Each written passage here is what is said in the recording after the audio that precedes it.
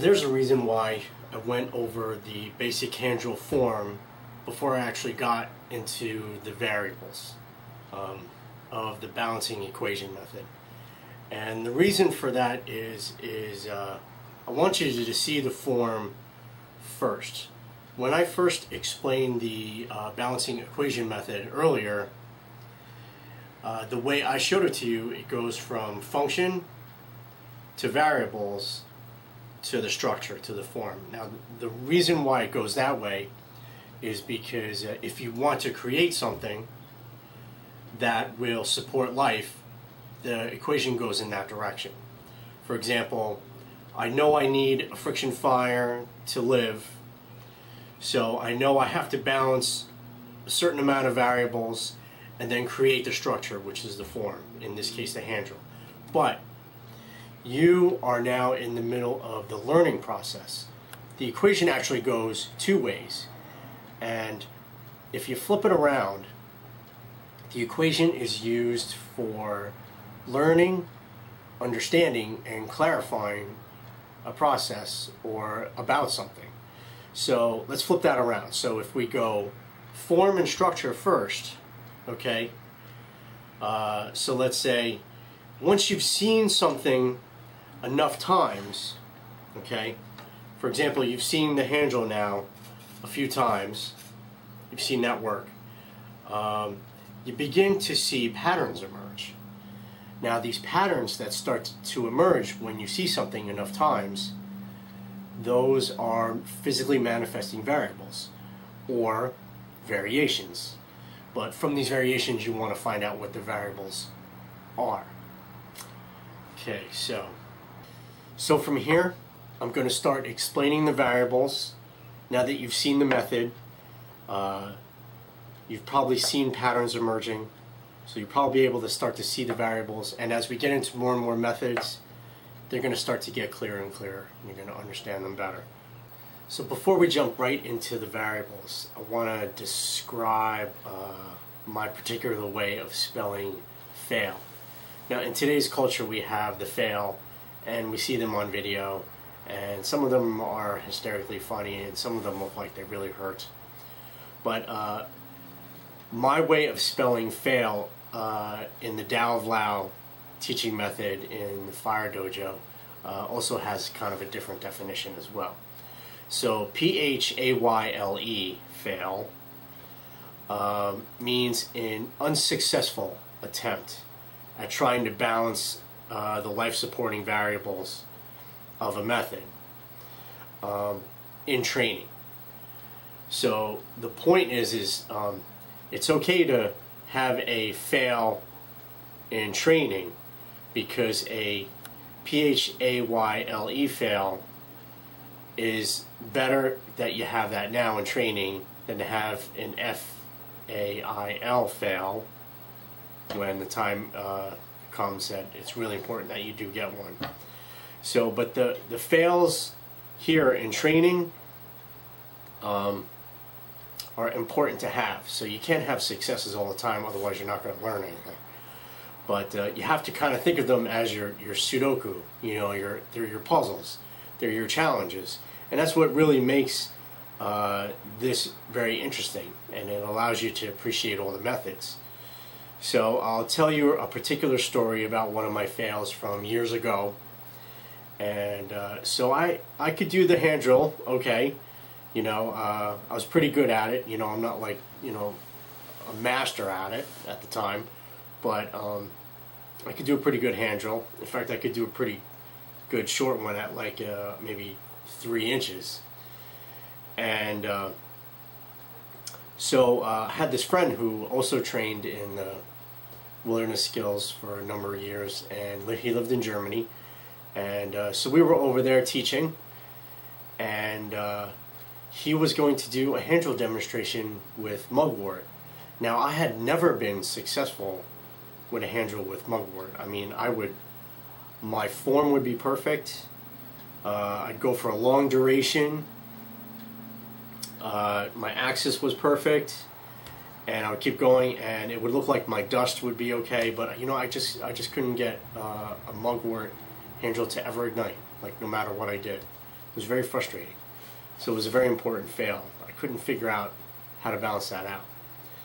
So he was going to do a hand drill demonstration and with the mugwort, and I said, "Really? Like, I've you sure you want to do that as a demonstration because I've never been successful with that." He goes, "Oh, it's easy." And uh, he goes, "I'll show you." And he he did one right in front of me, and I'm like, and I looked at his uh, his uh, spindle, and uh, I noticed that it was a lot lighter from the ones that I had previously used. And then he knew what my problem was right away. He pinpointed it down like exactly what it was. Uh, mugworts need to sit out in the weather a little bit longer and deteriorate a little bit longer than usual. So it uh, reduces their hardness. So it goes from uh, a harder wood to a less harder wood as it degrade, degrades a little bit. And there's something about the chemical nature of it where uh, if you get it early, it just doesn't want to ignite. So it takes away, I guess, maybe that chemical nature if it's present in there and uh, allows it to, to go.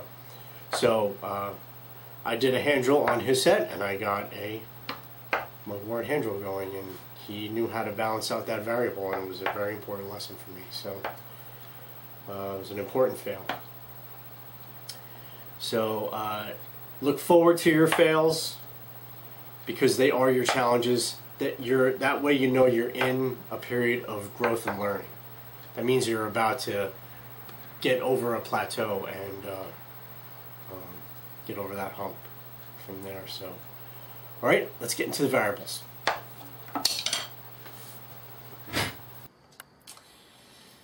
So there are no less than 22 variables in the balance equation method that we're going to go over in the Tao of Lao training of the art and science of ethical life supporting skill of wood friction firekeeping.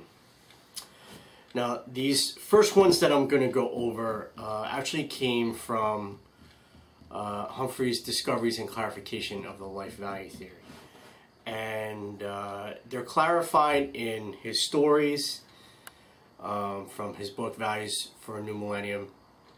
Uh, a very visceral Iwo Jima story about a, a Corporal McCorkle who gave, sacrificed and gave his life on uh, on the island, and uh, these things are called the three conditions.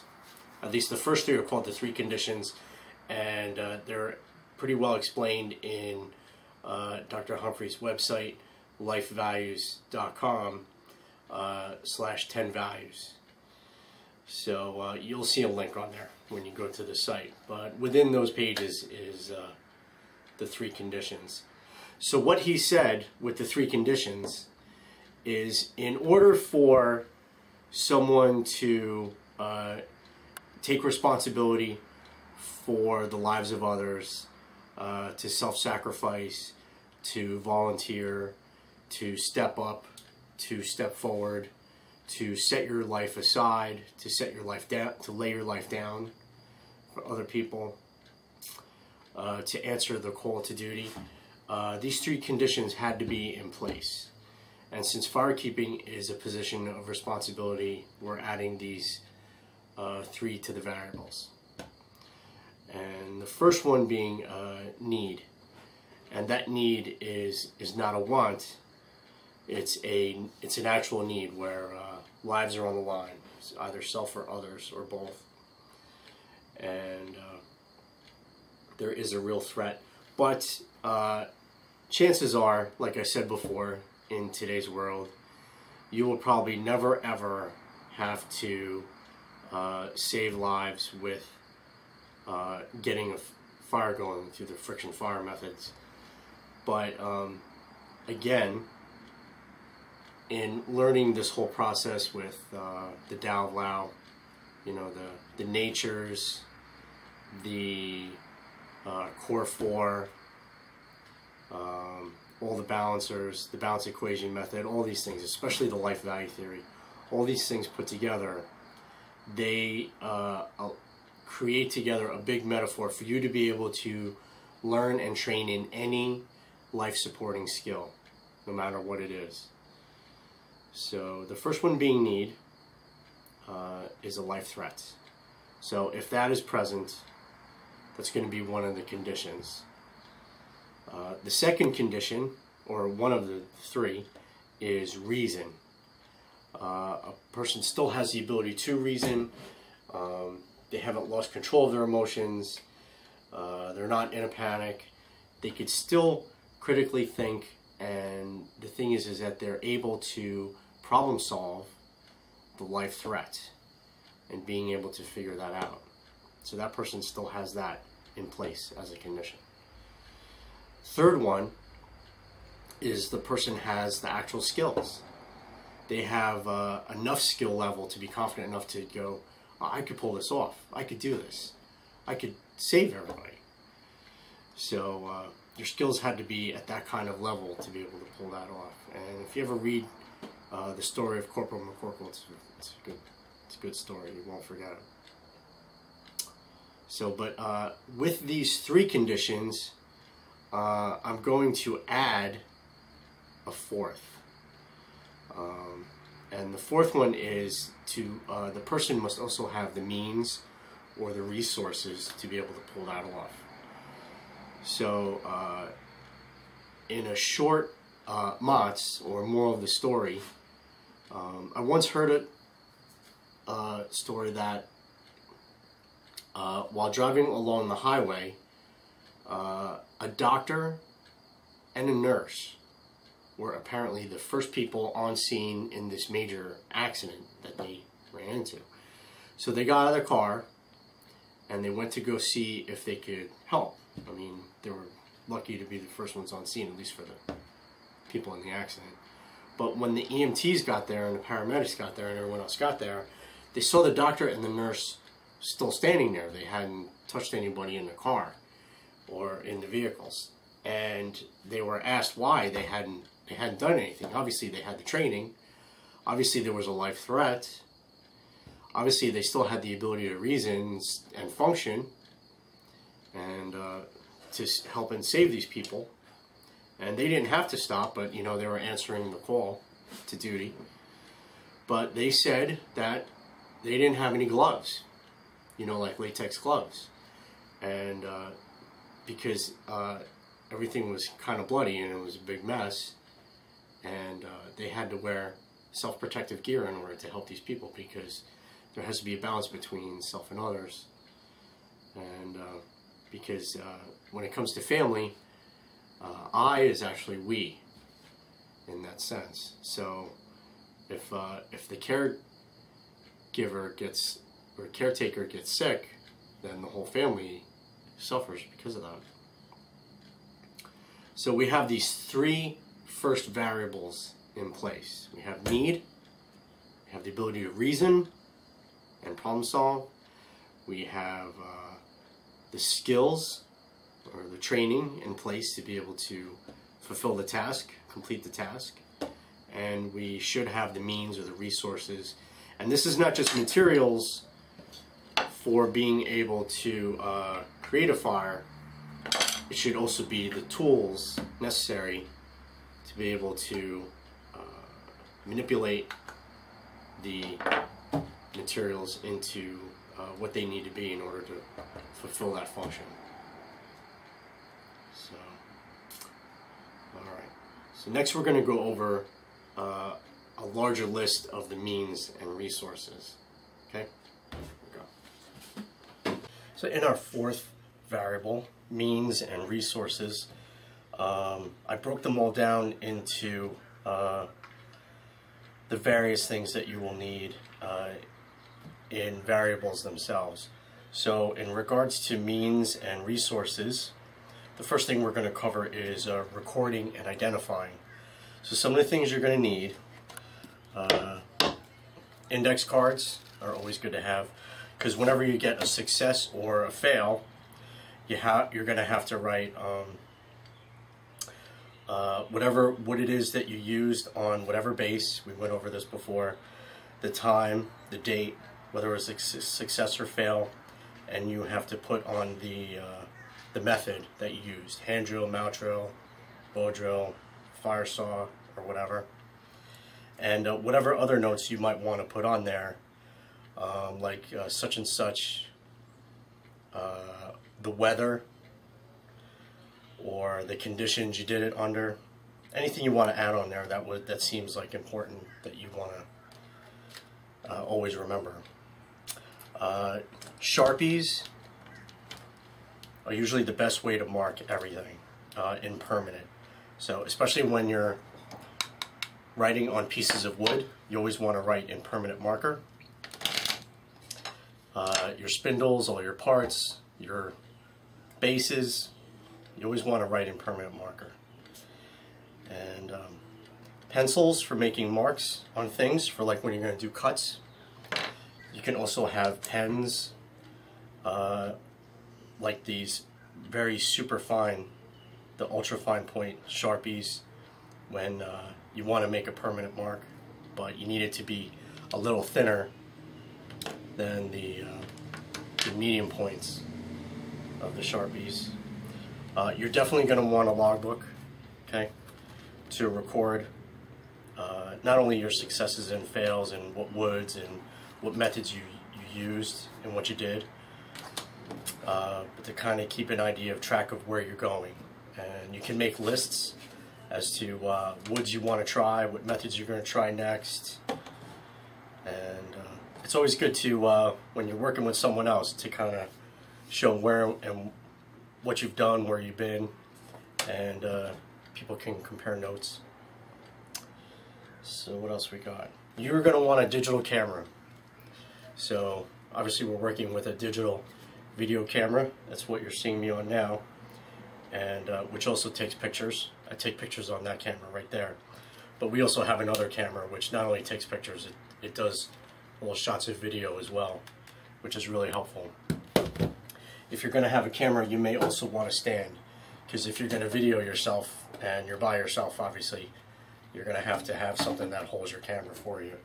Otherwise, as soon as you're done, you make out your index card with your Sharpies, you put it next to your the method that you did, and you could just take a picture of it with the coal to show that you had a success or a fail, because they're all important. Uh, you may also want to have a clock, which I have hanging here over here in the corner, and a calendar that tells you the date so that you can keep track. You may just want to keep your calendar inside your notebook so that you can keep track as well, which is what I have. So, all right, so that covers, under means and resources, that covers recording and identifying.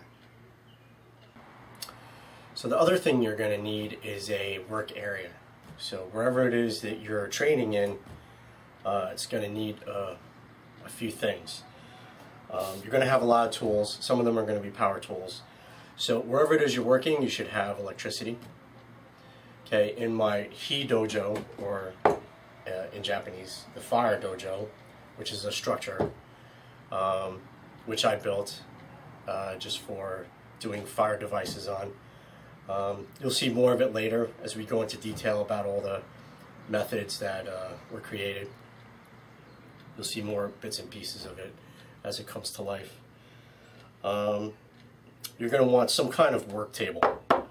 This is an old table that I converted and I made it the work surface for my Hi Dojo. And uh, you'll notice something, these cuts that are in here that I put in the table. Well, they're actually for um, clamps. They're for clamps. So what I do is I fit my clamps in here.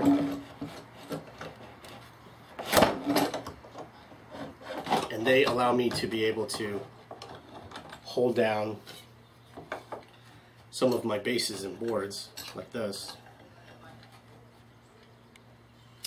And I have one here for the middle of the table as well. Now you don't have to do this, but it's just something that I made for myself to be able to do. So for example, when I'm doing the um, fire plow, this holds my base right here while I'm doing the technique. So I you custom design it the way you want to be because it's going to be yours. Make it very personal. So what else we got? Um, you're going to need plenty of good ventilation. Now I'm in my sunroom. I got all the windows open. And because we have electricity, I have electricity rigged to the Hi Dojo. I also have the ability to blow the smoke away with a small fan. Uh, your workshop area should also be out of the elements. Now I'm covered. Uh, the sunroom has a ceiling, uh, so I'm always out of the rain and uh, out of the elements. No matter what the weather is, I can train and practice.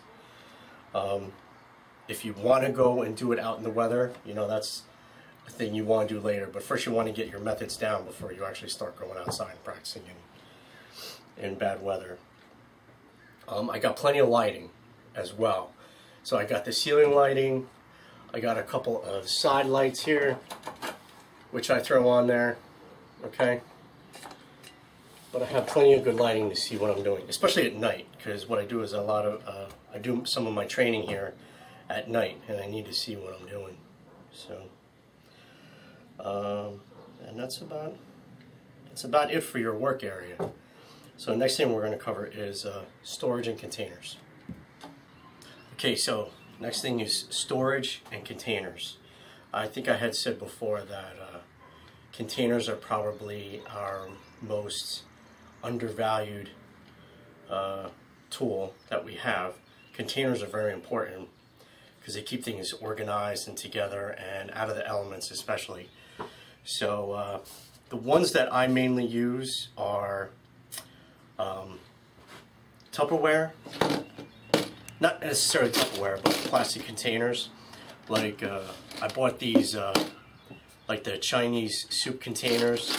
Well, I bought them in bulk online, and I got a whole bunch of them along with the lids. And they're great for holding tools. Like here I have some milkweed seeds and uh, some of my small screwdrivers, but I keep all kinds of things in these containers. Small bits of wood that I need to use later, and uh, it keeps them together and keeps them out of the elements so uh, nothing gets ruined. So I especially like using these, keeping things together. You can also get uh, really creative with containers.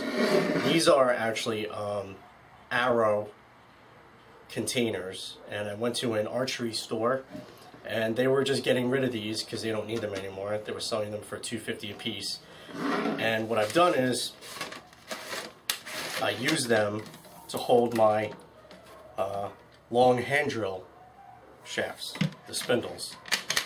So I got a bunch of these and I use them to hold hand drill, mount drill, any of the long spindles. So you can get creative with your containers. I'll show these more later when we do uh, hand drill and mount drill. Um, I like to use buckets a lot because it allows me quick and easy access to whatever it is I need. This one is for all my hand tools. As you can see, I got quite a bit.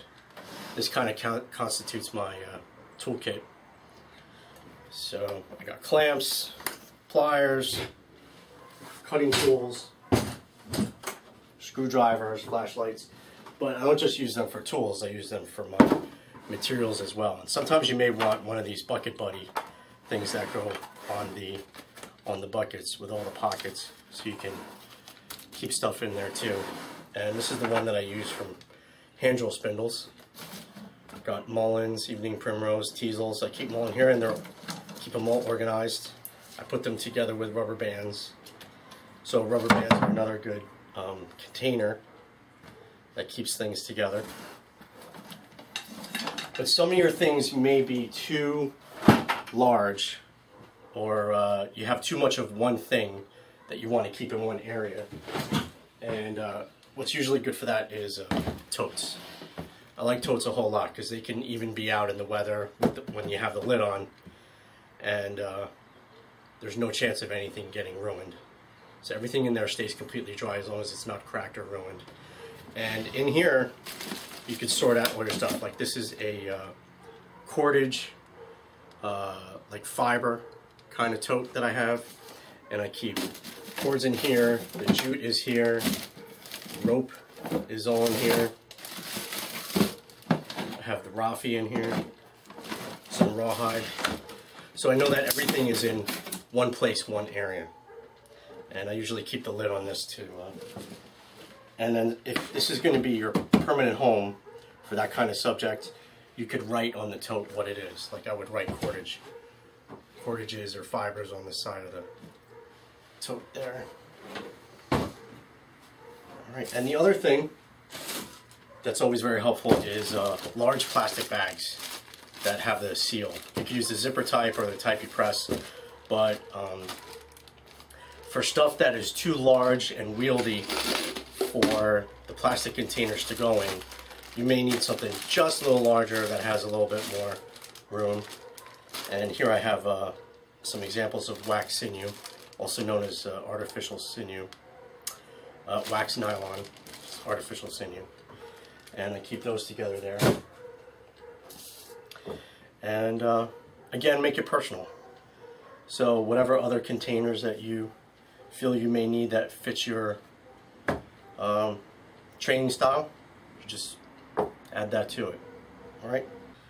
So one thing I want to add for uh, safety and peace of mind is uh, when you're also being uh, creative with your containers, uh, you have to keep in mind if there's any kind of danger or uh, uh, disappointment ahead of you.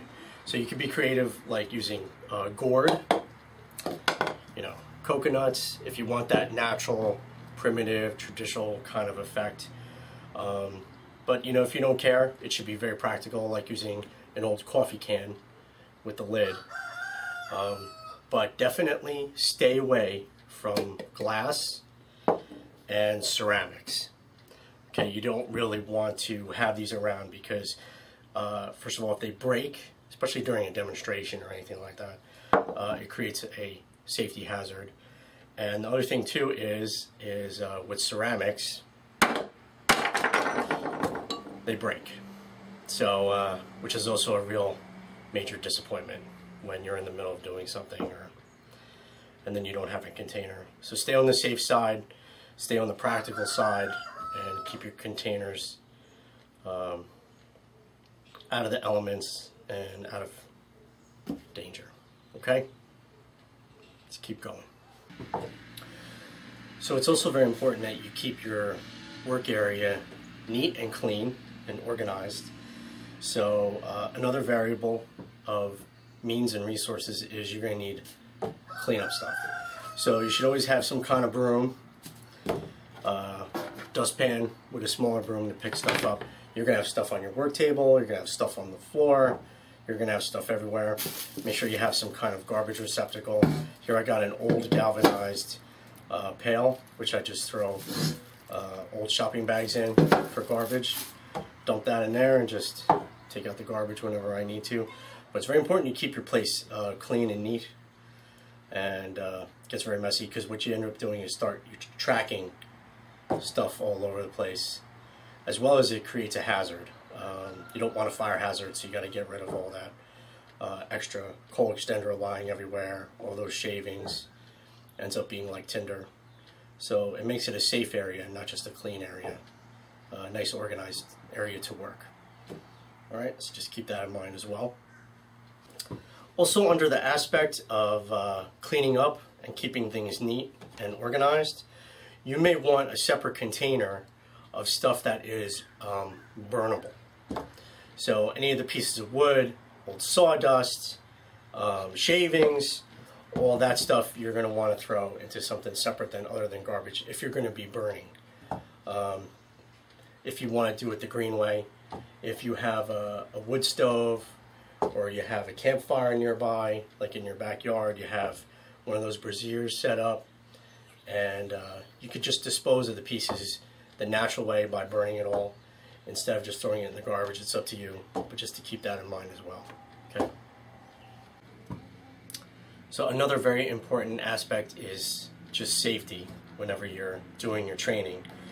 Um, whenever you're doing any kind of cutting or anything that could possibly get thrown up into your eyes, you're always going to have a pair of safety glasses or safety goggles. I can't wear goggles, they fog, fog up too much, so I always have a safety glasses. And uh, again, they comes in all shapes, sizes, colors. Make it as personal as you want. Um, all kinds of pricing.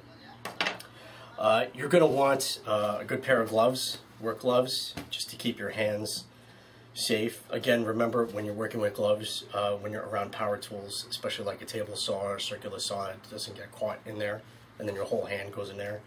I've seen that happen a lot of times in the emergency room. Guys come in and they're the do-it-yourselfers on the weekends, and they come in because they cut themselves on the on the saws. Uh, so uh, don't let your gloves cause injury as well as helping you avoid injury. Another thing is ventilation as a safety aspect. Have a fan nearby uh, just to get the smoke out of your face or out of the whole area. Okay, Your area, again, should also have good ventilation to begin with, especially if you're outside. Uh, again, and you should also have the ability to put out a fire just in case. Chances are very low that a fire can get away from you uh, in a controlled area, but you should always have those safety aspects in place. I always have an extinguisher near me, and whenever I'm outside, I have access to a lot of water. And uh, as you saw before, I have a shovel with some earth nearby, which just completely buries the fire and uh, gets it under control right away. So um, another thing, uh, safety aspects as well, is if you have any kind of blades or sharp objects around, that they're always put away in their proper place and they're not lying around. Always put your tools away where you can find them next time and they're available and uh, especially if you're like me and you have kids running around uh, you can't let them have free access to those things. So make sure your work area is a safe area. Okay, next thing.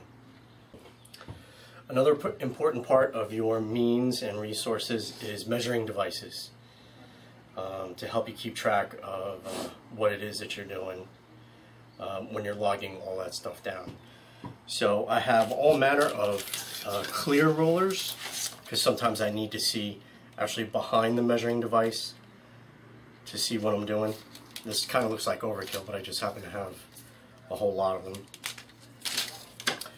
Uh, protractor, as well as some uh, squared edges that help with measurements. And again, they're clear so I can see behind them. Sometimes you need to do that.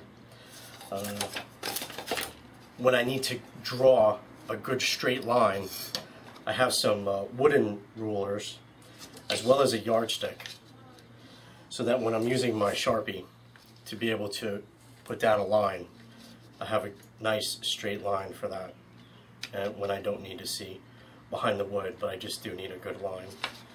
So I have those. And I also have a uh, uh, lever for not only for measuring, but to see if I need uh, to keep something straight. Okay, for my larger pieces. And sometimes when I go to the um, hardware store, I need to measure big planks of wood, or I need uh, 2x4s or things like that. So I always have a good tape measure on me for stuff, or if I just need to do stuff real quick. Um, I happen to have this old uh, folding ruler, which has helped me quite a bit in the past. Sometimes I'll take this to the hardware store instead of a tape measure and I'll just fold this out real quick, get what I need as a measurement, and then just throw it back in my pocket. And obviously I didn't take it from the hardware store because they don't sell stuff like that anymore. Uh, you may need some rulers that have uh, more than inches or centimeters as a measuring device. Um, again, we're in the United States and we usually go by the English and not by the metric. But it's good, it's important actually to have both. Uh, to understand centimeter rules, things like that, meters. Um, this one particular ruler has uh, six different types of measurements, not just inches and centimeters. And again, for measuring, we went over this before, but you're going to need a diameter gauge, especially for when you're keeping track of all your spindles and what sizes they need to be. Because again, you're going to need to know so that you're not wasting your time with the wrong kind of surface area, um, especially when you're going to be using your hands uh, you don't want to be using a diameter that's not only going to ruin your hands, but is so small or so big that you've uh, you've severely decreased your chances of being able to get a fire in the first place. So it's important that measurements, uh, it's what's important about measurements is that they keep you within your mean, your standard of knowing what it is that you can or can't pull off so you're not going too small or too large. And I might have mentioned earlier before that uh, if you are going to have um, gauges, make sure they're not the type that you use for drawing. For example, this one, these ones are actually bigger than the diameter that it says because what it does is it allows for the pen or pencil that's inside to create that diameter. So if you're going to put something through here, that is actually the wrong diameter of that size because what it does is it allows for the pencil or pen inside of it. You have to have a standard gauge that has the actual diameter. So be careful if, when you buy these, especially at the arts and crafts store. That's a different function than that of trying to measure stuff at like the hardware store. So this is for drawing and this is for actual measurements of actual diameter. Uh, okay. And that's measurements. On to the next thing. So another important variable of means and resources is securing things. Um, being able to hold stuff down while you're working on them. So we have all kinds of clamps. Here we have a spring clamp that holds things in place, but the problem is that can still move. So we have the standard screw clamps. We have a bunch of those. But what I really, really like to use and I use often are the quick grip clamps. So whenever I want to, usually, usually when I'm doing a demonstration, I just put this down, put it together, squeeze it tight, and then it doesn't move. And then I'm ready to do my demonstration or whatever it is that I'm going to do. So I, I use the quick clamps quite a bit. And they come in all kinds of different sizes. We even have small mini ones. So you're going to need to secure things in all ways and manners. So we have uh, cable ties. Here I have a whole bunch of colors and sizes in case I need to organize them like that. Uh, you're going to need all kinds of ropes. You're to need all kinds of cordages or fibers. You can go the primitive way, but that takes a long time. But that's part of the training too if you like. You could use rawhide. Uh, again, we have the art of the uh, wax nylon or artificial sinew. And there's times when you you need uh, where it needs to stretch to hold things down. So we have all kinds of bungees to fulfill that function. And uh, whatever else is that you need. Um, I have a vise, you know, a standard uh, tabletop vise, workshop vise that I have in my uh, workshop area. So I have that.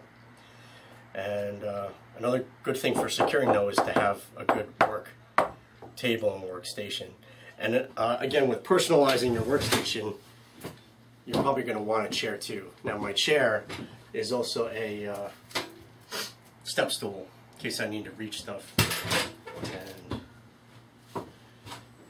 Because I'm a little short. But I put a pillow on it and I use that as my chair as well, which is really convenient. So devices that you need to secure whatever it is that you're doing or working on is also very important. So remember that. Uh, one thing that I forgot to mention for securing is uh, you may want to uh, work with some glues. Um, there's all kinds of glues out there. I pretty much 95% of the time use epoxy. So I get epoxy in bulk and I mix it myself and I put together whatever it is that I need to do. There are some glues like Gorilla Glue. This foams, by the way. It's like that expanding foam. So you have to be careful that you know what it is that you're doing, what the function of the, the glue is, before you actually start using it. So uh, this is an important tool to have in your toolkit too for securing things is uh, you're going to be gluing stuff together too as well. All right, so keep that in mind as well. So now we get into the real nitty gritty of uh, tools that you'll actually be using uh, for manipulating the materials into uh, what they need to be in order for them to work.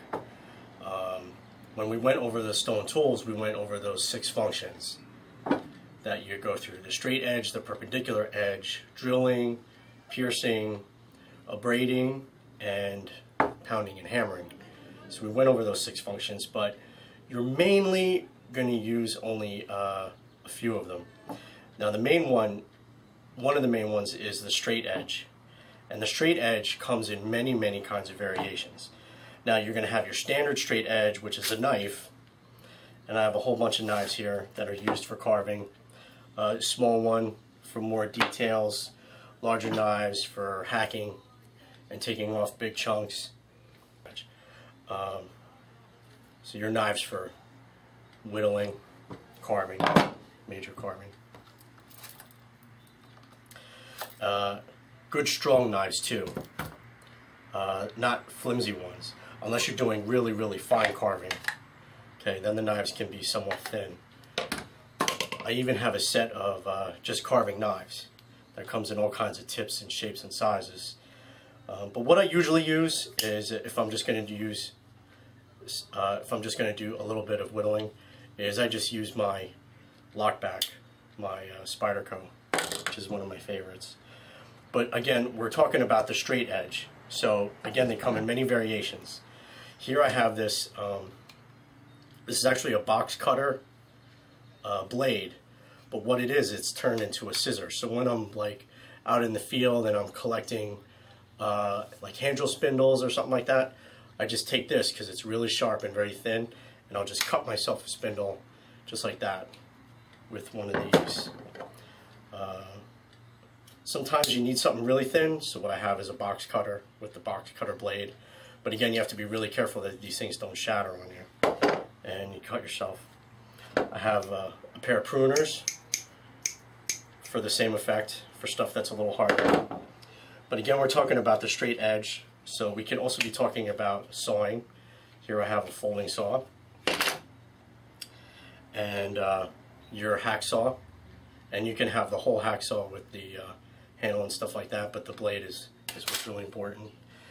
Um, you have your standard uh, fine tooth saw for uh, cutting boards and just pieces of wood.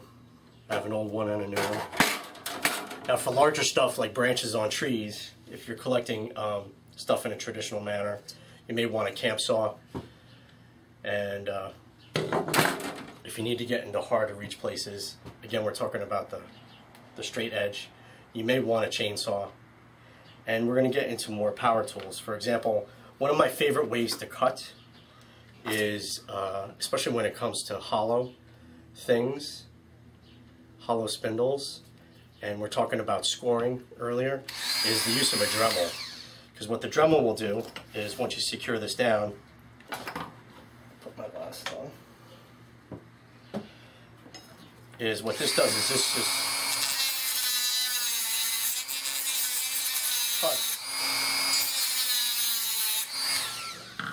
cuts as a straight edge as it goes along. And what it is, it's a very, very fast abrading cutting tool. And abrading, again, works better sometimes on wood than does a blade, which increases your chances of cutting yourself. Um, for some larger pieces, I have a larger cutting tool, and uh, some of the tools that I work with, I have to actually cut through metal. So this metal cutting wheel, as well as a uh, wood cutting wheel, works very quick and efficiently. And again, you should always practice safety with any kind of power tools.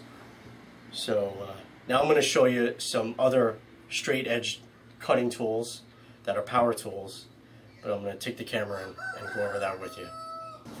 Okay. So here we have a jigsaw.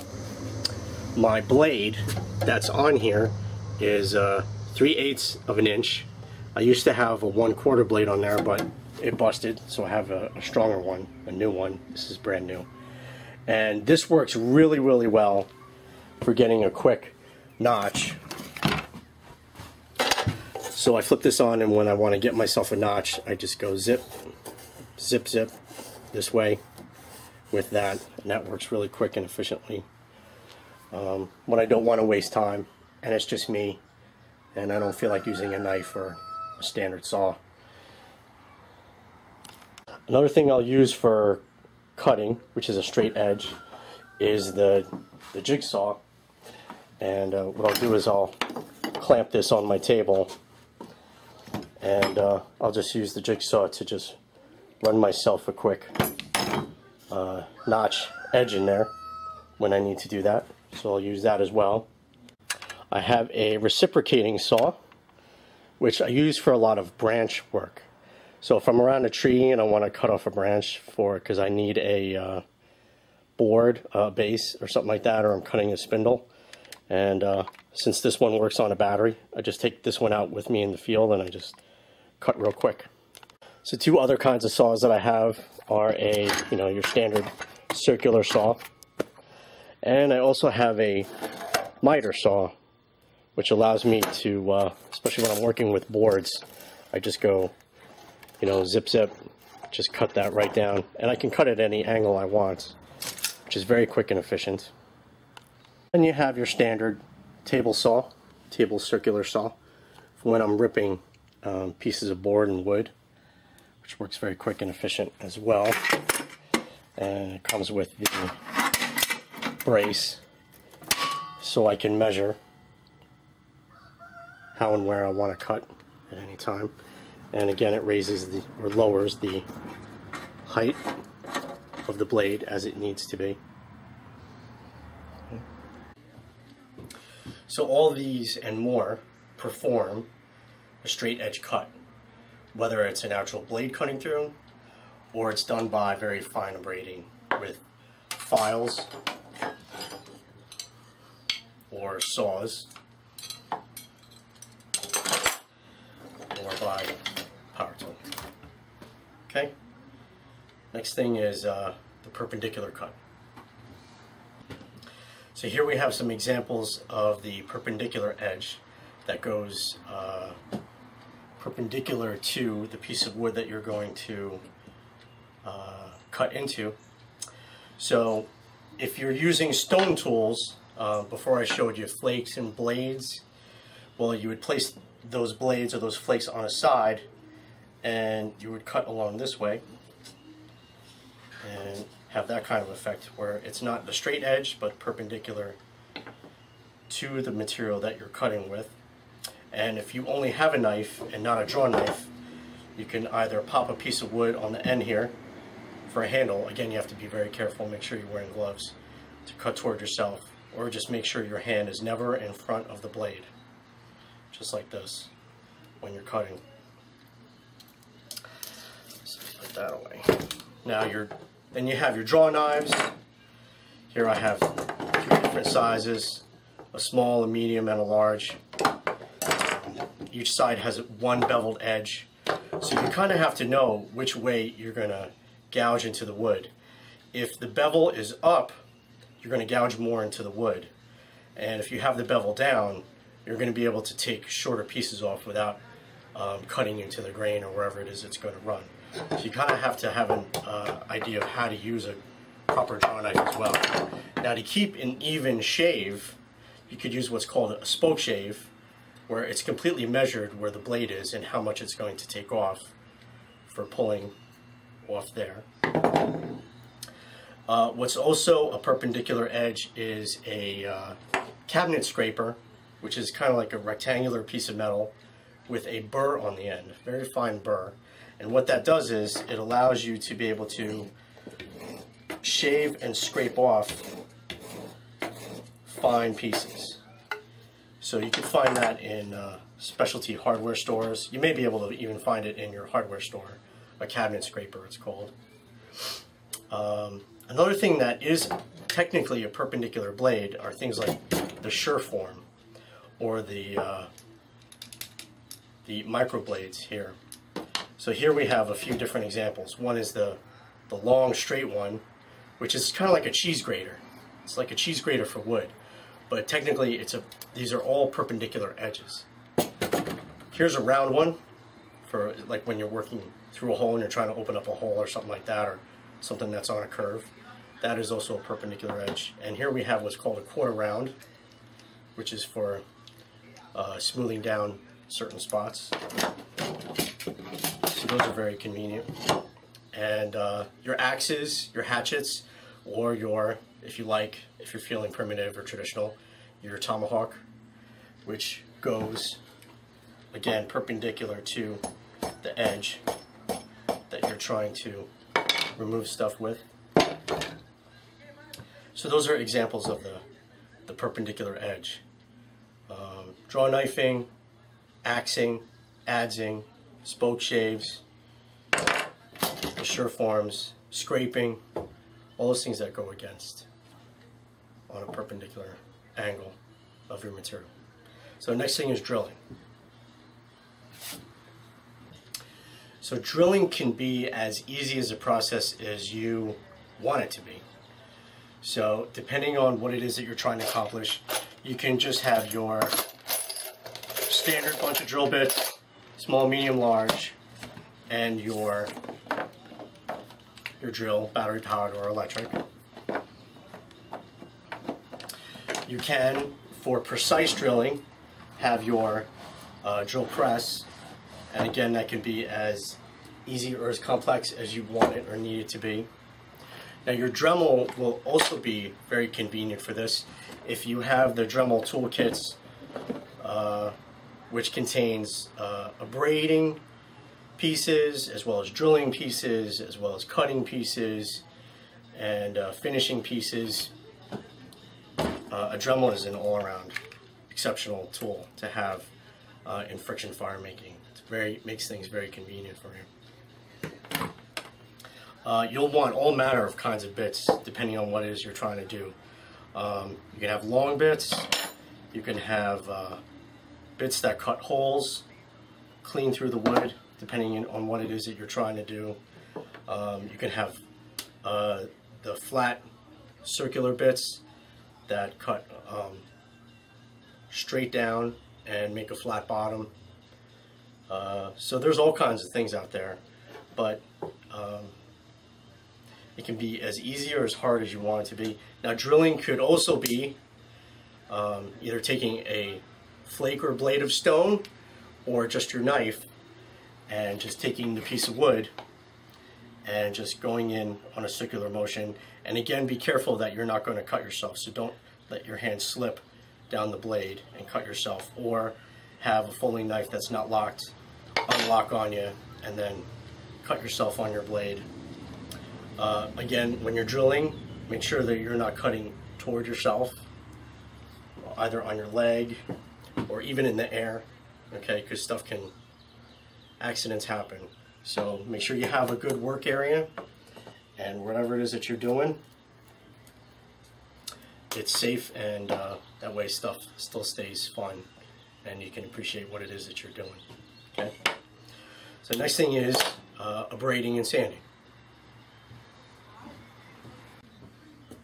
So here we have abrading and sanding, and we're getting a surface down through uh, taking off a little bit here and there.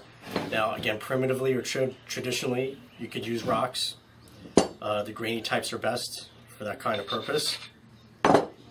But uh, in today's day and age, uh, just to kind of move things along and make things easier, uh, you have your sandpapers. You'll want a block, what's called a sanding block, to hold your paper on. And again, they come in all kinds of grits, coarse, medium, and fine. All different kinds of uh, grades. Also for abrading, you're going to want all kinds of files. Rasps, round files, um, squared edge files, all those for abrading. You can, again, and you can get as fine as you want. You can get even specialty uh, small type files that do all manner of edges or whatever it is kind of work that you need done. And again, the Dremel, uh, which I really like, it allows for a lot of control and it saves a lot of time. like I'm an ER nurse and I always think I need to save time because I don't have much time to begin with. But these Dremel bits, um, they come with uh, all manner of tops.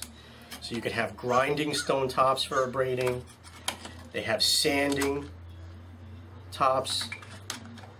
They have wheels. They even have buffers for how fine you want to get stuff. Not that you probably go that far because um, I don't use the buffing wheels, but the abrading, any of the abrading tools I use all the time. And they're very convenient. So when you want to take stuff down, smooth stuff down, uh, like knocks on your spindles, or you have uh, branches that stuck out on your spindle, you want to take that down, or you need to fine up your board, or you need to get your notch just right. So you get a fine file, and you just kind of get in there and make it exactly the shape that you need it to be. Uh, so you're not messing around with anything. So abrading is going to be, and sanding is going to be an important function in your toolkit. And uh, to have those tools is very important. Alright, so last one is hammering and pounding. Another important tool that I have for abrading is my, my belt sander. So uh, here I happen to have a coarse grit belt on my sander here. And it also comes with a 5 inch disc sander, which I don't have uh, uh, sandpaper on there right now. But this cuts my work down so quickly when I'm working on something.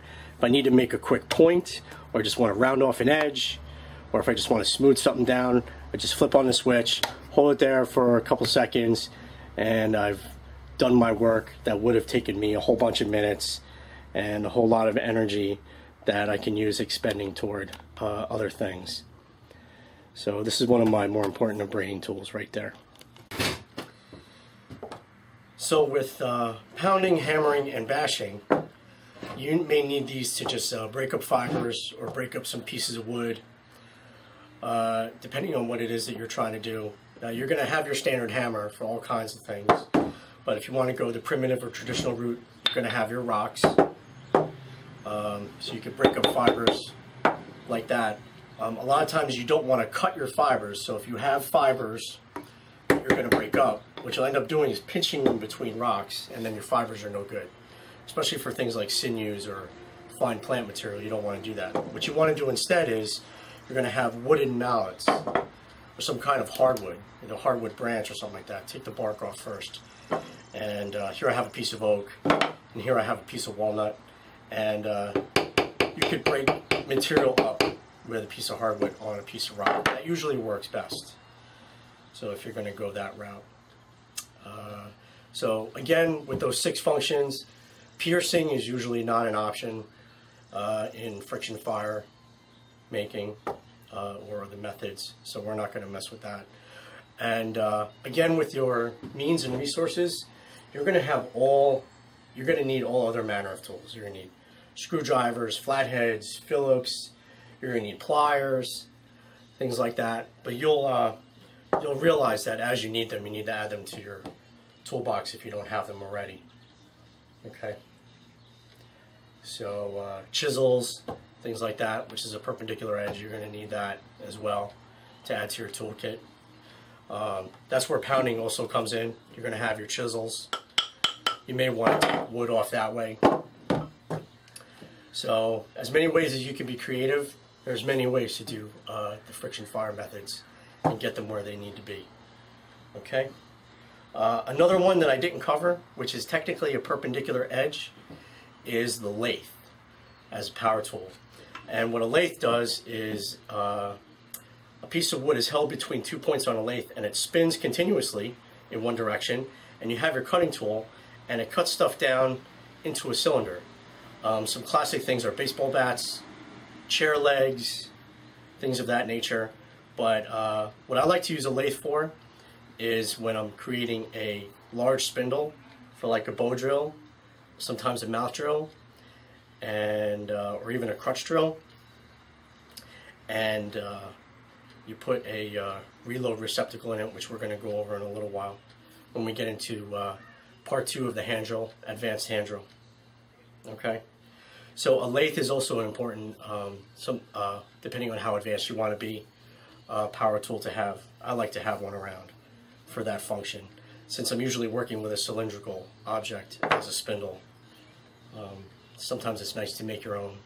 And I make my own spindles too, in different kinds of woods and uh, different kinds of shapes. So we'll see that on the wall later too. All right. So one of my favorite ways to teach is to actually what's called teach in context. And it's something I learned in uh, martial arts training. And it's where, um, for example, uh, you are uh, with someone that you're teaching and uh, just by either coincidence or uh, it could be also something you create. But what happens is, is a lesson kind of just presents itself. So uh, one of these instances is that, well, um, I'm going out to go collect some, uh, a willow branch that's in my backyard. And so uh, since I need to do that, I might as well just show you what and how I do it. So here we go. But what it is is uh, uh, an example from our martial arts training is that uh, one day, a long time ago, um, my teacher, my sensei, was with his sensei in Japan, and uh, he was with him walking his dogs. And uh, he does this for like uh, an hour or two, uh, just about every night. It's kind of a ritual, and uh, took my teacher along. And as they're walking, he started to just kind of explain things about, you know, he notices this and he talks about uh, how that would uh, come into our training. He talked about like how the, the light of the moon, what you would do at this time of night, you know, things like that. Kind of, it's called teaching in context when a lesson just presents itself. So here I am, uh, happen to be cutting a limb of willow and uh, getting it all set and ready for uh, teaching and uh, putting everything away. So I'll let you see my process. So here it is. It's kind of a Socratic method, you know, that kind of thing.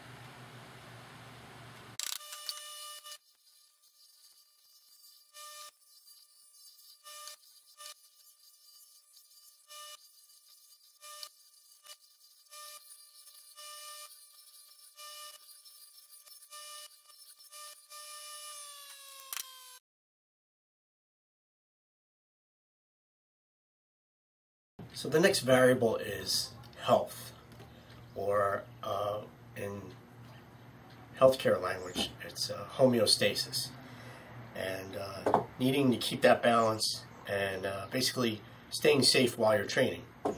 So um, the next variable is going to be energy, but we can't really confuse the two because health means uh, the balance between uh, structure and function within your body, and uh, energy is uh, what you need that drives you to be able to uh, perform a function. But uh, in a way, it's a little different because in talking about health, for example, uh, if you're going to get injured on any one of these methods, it's most likely going to be uh, the hand drill because it usually forms a lot of blistering on your hands. Now, blistering can open you up to infection. Skin is your uh, is a defense uh, that keeps organisms out. So whenever you get a blister and the blister opens, well, now you have uh, an opening in that defense and you're open to infection. So you have to be very careful about that. But the other thing too is is that if you don't get your fire like you're trying to accomplish, you have to be able to pull that off again and the method again and again and again until you finally get it. So health is necessary because each time you do a hand drill, uh, you're opening yourself up to more blistering and damaging your hands and damaging yourself. So you don't want to do that. So your technique has to be good where you're maintaining your health and avoiding blistering uh, while you're trying to perform a method. But you know, there's many other things too. Uh, illness can keep you from doing a method. Like I have asthma, uh, which is right now pretty good under control. But you know, if I can't breathe, I can't perform the method because uh, the exertion on myself just makes things worse.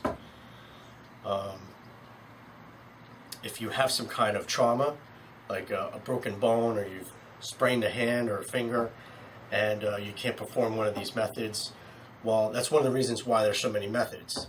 So you have many to choose from in case you can't perform one for one reason or another, and one of those being health in itself. Um, another thing is you have to be careful about what materials you're using, that the materials themselves are not going to hurt you. Uh, careful going through things like poison ivy, poison oak, poison sumac, like we said before. They are toxic. They'll cause nasty blistering. Um, and uh, you don't need that because it'll stay with you for about two weeks, and it's a horrible experience to go through if you've never had it before. But you don't want it to begin with. Uh, it's important to maintain not only your health but the health of others. I have children and they're running around all over the place. They're always getting into things, so I always have to make sure that everything that I'm doing, uh, I'm not having dangerous things lie around like knives or uh, sharp objects that are around or anything that's hot that they can touch. So I have to be careful of their safety as well. Um, in maintaining health, you have to have the protective eyewear. We have the gloves like we showed before. Uh, I unplug all my tools and make sure that they're all turned off, um, especially the power tools, the jigsaws, um, all my circular saws, the table saws, everything gets unplugged once I'm done so that there's no accidental chance of them flipping them on and getting hurt. I keep nothing around that's hot so nobody gets burned. But uh, when you're doing your tinder bundles and you're blowing them into flame, uh, when we'll go over again later, you have to make sure that your hands are not over or near where it's going to flame. Always have your hands underneath and you're going to be getting rid of that pretty quick. So careful not to burn your fingertips. Um, smoke is going to be a problem. Careful not to inhale smoke. Um, have the ventilation, have the fan around you um, so you're not inhaling that. Uh, careful when you're carving, again, that you're not in front of anything. That'll not only ruin your training, but you know, if you work for a living and you need your hands, well, now you've deteriorated your function, and you don't want to do that either. So, uh, uh, always wear shoes because sometimes you forget and you drop things, and uh, sometimes you have stuff on the floor. Try not to go barefoot when you're in your work area, especially when you're working with tools. Um, Always have plenty of good lighting so that you can see what you're doing. And because uh, when you're working in the dark, you can have an accident and not see what you're doing. And uh, make sure that everything is clean and organized so you know where everything is. Because if you don't, those can cause accidents too. So you have to maintain your health. And if you're in a, a wilderness situation where you're practicing there, um, be careful of the elements. Um, if you were in a primitive situation where fire, it depended that you get a fire going to uh, save life.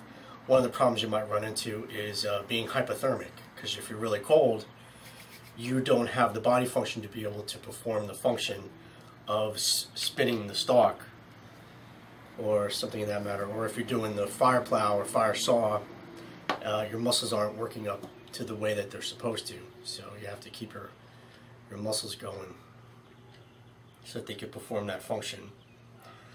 Uh, another thing could be that if you were ever in a survival situation for whatever reason, would be malnutrition, or if you had a metabolic disorder and your, your blood sugar drops and then you can't perform uh, whatever it is that you need to do. So maintaining your health, whatever that is, whatever it takes, for you to be able to not only continue in training, but to just do whatever it is you do in general is very important. So that's an important variable, is to keep your health, maintain that health. And uh, as your the techniques and the methods, you should avoid it uh, costing you your health as much as possible. So when your hands feel like they're starting to go and the blisters are starting to form and they're starting to get really worn out, you got to stop and give your hands a chance and let them rest, okay? Next one is energy. So with energy, uh, energy is a little different from health in that, let's say I'm, I'm feeling very healthy and uh, I'm going to try to do this technique. But the thing is, is if I don't get it the first time, I have to be able to pull that off again. So I would attempt that again, and then if I don't get it a second time or a third time, I still need to be able to have the energy to do it again and again and again. Now the hand drill, again, like I said before, the pieces, the way I have it, uh, have it set up, the way the drills are in order, the spindles methods are in order, is less pieces, more effort. So it's going to require more energy. So the more pieces that you have, those methods, as we go up the scale later, uh, the more pieces you have, the less energy you're going to expend, and they're going to be much, much easier to do. So the hand drill is really the hardest one, I think, of all the methods to do. Even the linear ones, which take quite a bit of energy, I still think the hand drill is going to be the one that's going to zap the most energy from you. And uh, it's definitely could be a detriment to your health out of all the methods. So the hand drill is always the, the one to always be very careful with. But um, as you're doing your method, what's happening is your muscles are building up in lactic acid as well. So their function, which with each and every attempt, the function deteriorates. So my muscles are actually, each time I have to do this, they're able to perform less and less. So um, you're going to need to make sure there's two factors that uh, you always want to increase your endurance to be able to go for a long period of time, uh, a longer duration, and uh, that means uh, being able to maintain your breathing and not um, being uh, exhausted quickly. So uh, I like to run. That's one of my favorite things to do of exercise. I like running. So endurance is always a key thing. And then the other thing is strength. So at least with doing the hand drill, uh, you have to be able to coordinate um, kind of like chewing gum and walking and patting your head and uh, rubbing your belly all at the same time.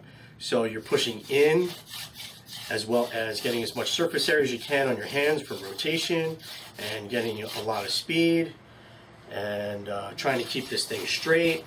And then you're trying to go down and try not to stay for a long time. So you grab the bottom, get back up to the top, work all over again. And you just got to keep going and going and going until you finally get the coal. And that requires energy.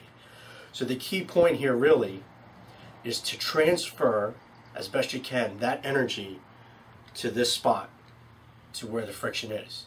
So I'm trying not to transfer energy back into my hands, which actually is actually a key thing because that's what causes blistering.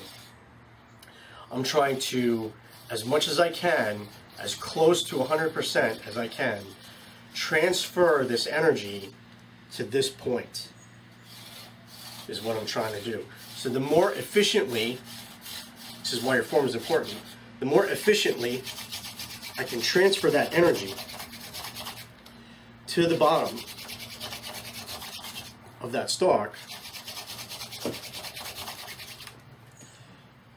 is what's going to help get me my coal. So uh, I'm going to try not to get the coal for ego's sake on the first try, but the fact that as a survival value, I need to try to get it as soon as possible because with each attempt, the energy is going to be less and less for it to be there. So that's an important variable.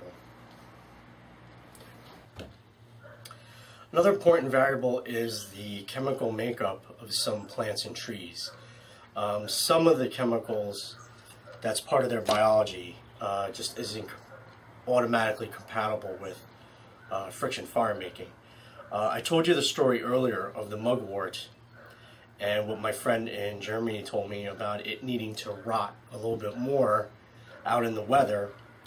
Um, uh, you have to take that into consideration when you're collecting it. So uh, once it's automatically dead uh, at the beginning of winter, it's still too hard and it still has kind of a chemical makeup that uh, doesn't allow for good friction fire. It's still uh, too hard. And uh, so it makes it a, a, really tough hand drill, which if it's really hard and it's a tough hand drill, that means you're opening yourself up to, uh, um, it's detrimental to your health because you're going to get more blistering and you're going to expend much more energy on it than you really should. Um, so at least at that point, it's as a spindle is probably better for a different method. If the spindle is uh, thick enough and straight enough, it'll probably make a good um, bow drill spindle. We'll do the mouth drill in a little while too. But as a hand drill, with all that energy expenditure, you want to be careful about what it is that you're selecting to use. Uh, you don't want to do this on ego. You want to think of this as just balancing all the variables. Um, pines and evergreens, they have a lot of sap or resin, and uh, you have to be careful that uh, in the wood, that's going to cause condensation uh, when you create that heat. So when you're selecting lumber, for example, at the hardware store, make sure it's not leaking pitch. Try to get the driest pine boards you can get. And when you're selecting out in the wilderness, you obviously want to make sure that anything evergreen that you're collecting is really dead, fully and weathered and dry, but not rotten, obviously, because when evergreens uh, die, they're automatically a softwood. So any softer than that, and it's not just go, it's not going to be hard enough to be able to uh, get a friction fire. It'll be too rotten. Um, chemical makeup, again, you have to be careful of the plants and uh, like the poison ivy, poison oak, poison sumac, uh, whatever's in your area. Um, it contains specifically a chemical called urushiol oil. And urushiol oil, you should know, uh, poison ivy, poison oak, and poison sumac do not cause an allergic reaction. When that happens to your skin, if you've ever experienced that, it's actually a uh, it, technically kind of an autoimmune disorder. So what the oil does is what it actually does is it changes the protein structure of your skin so that your body no longer recognizes it as uh, your own cells. So what your body starts doing is it starts attacking that area thinking that it's all foreign proteins. Um, so it's not an allergic reaction. If you've ever noticed, if ever you use a antihistamine or uh, something like that nature when you have poison ivy, you notice it doesn't work because it's not a true allergic reaction. It has nothing to do with histamines at all, the histamine release. Um, it's, uh, it's your body attacking itself because it can't recognize itself. So what you really have to do is you have literally 10 minutes to scrub that off with a really serious detergent. Uh, because it's an oil, you have to use kind of a detergent that really breaks up oil and gets rid of oil. Um, and get that off your skin.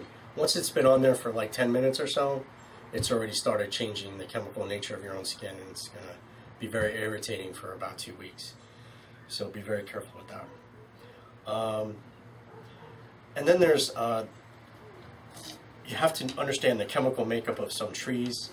Um, redwoods and pitch pines, which are born in areas, uh, they live in areas where fires occur naturally, you know, as it, uh, it's part of the ecosystem when fires go through and kind of clean up the ecosystem. And But some trees are hardy and uh, they're resistant to fire. So some of them have the chemical properties of being able to resist fire to begin with. So you have to be, you have to know what it is that you're using um, to make sure you're not using a wood that just won't start a fire for you to begin with. So uh, again, your plant and tree identification is going to be key as one of your skills, along with stone tools and uh, fiber making, cordage making for your methods. Okay.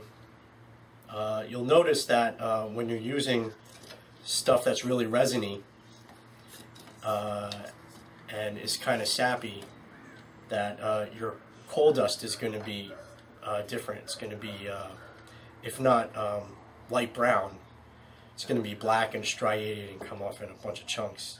Um, it's going to be a different consistency than that fine dark brown black powder that you're looking for. So uh, you'll notice as you go along. The only way to learn this is, is by doing it uh, having real training. All right, on to the next. So the next variable is uh, moisture and humidity.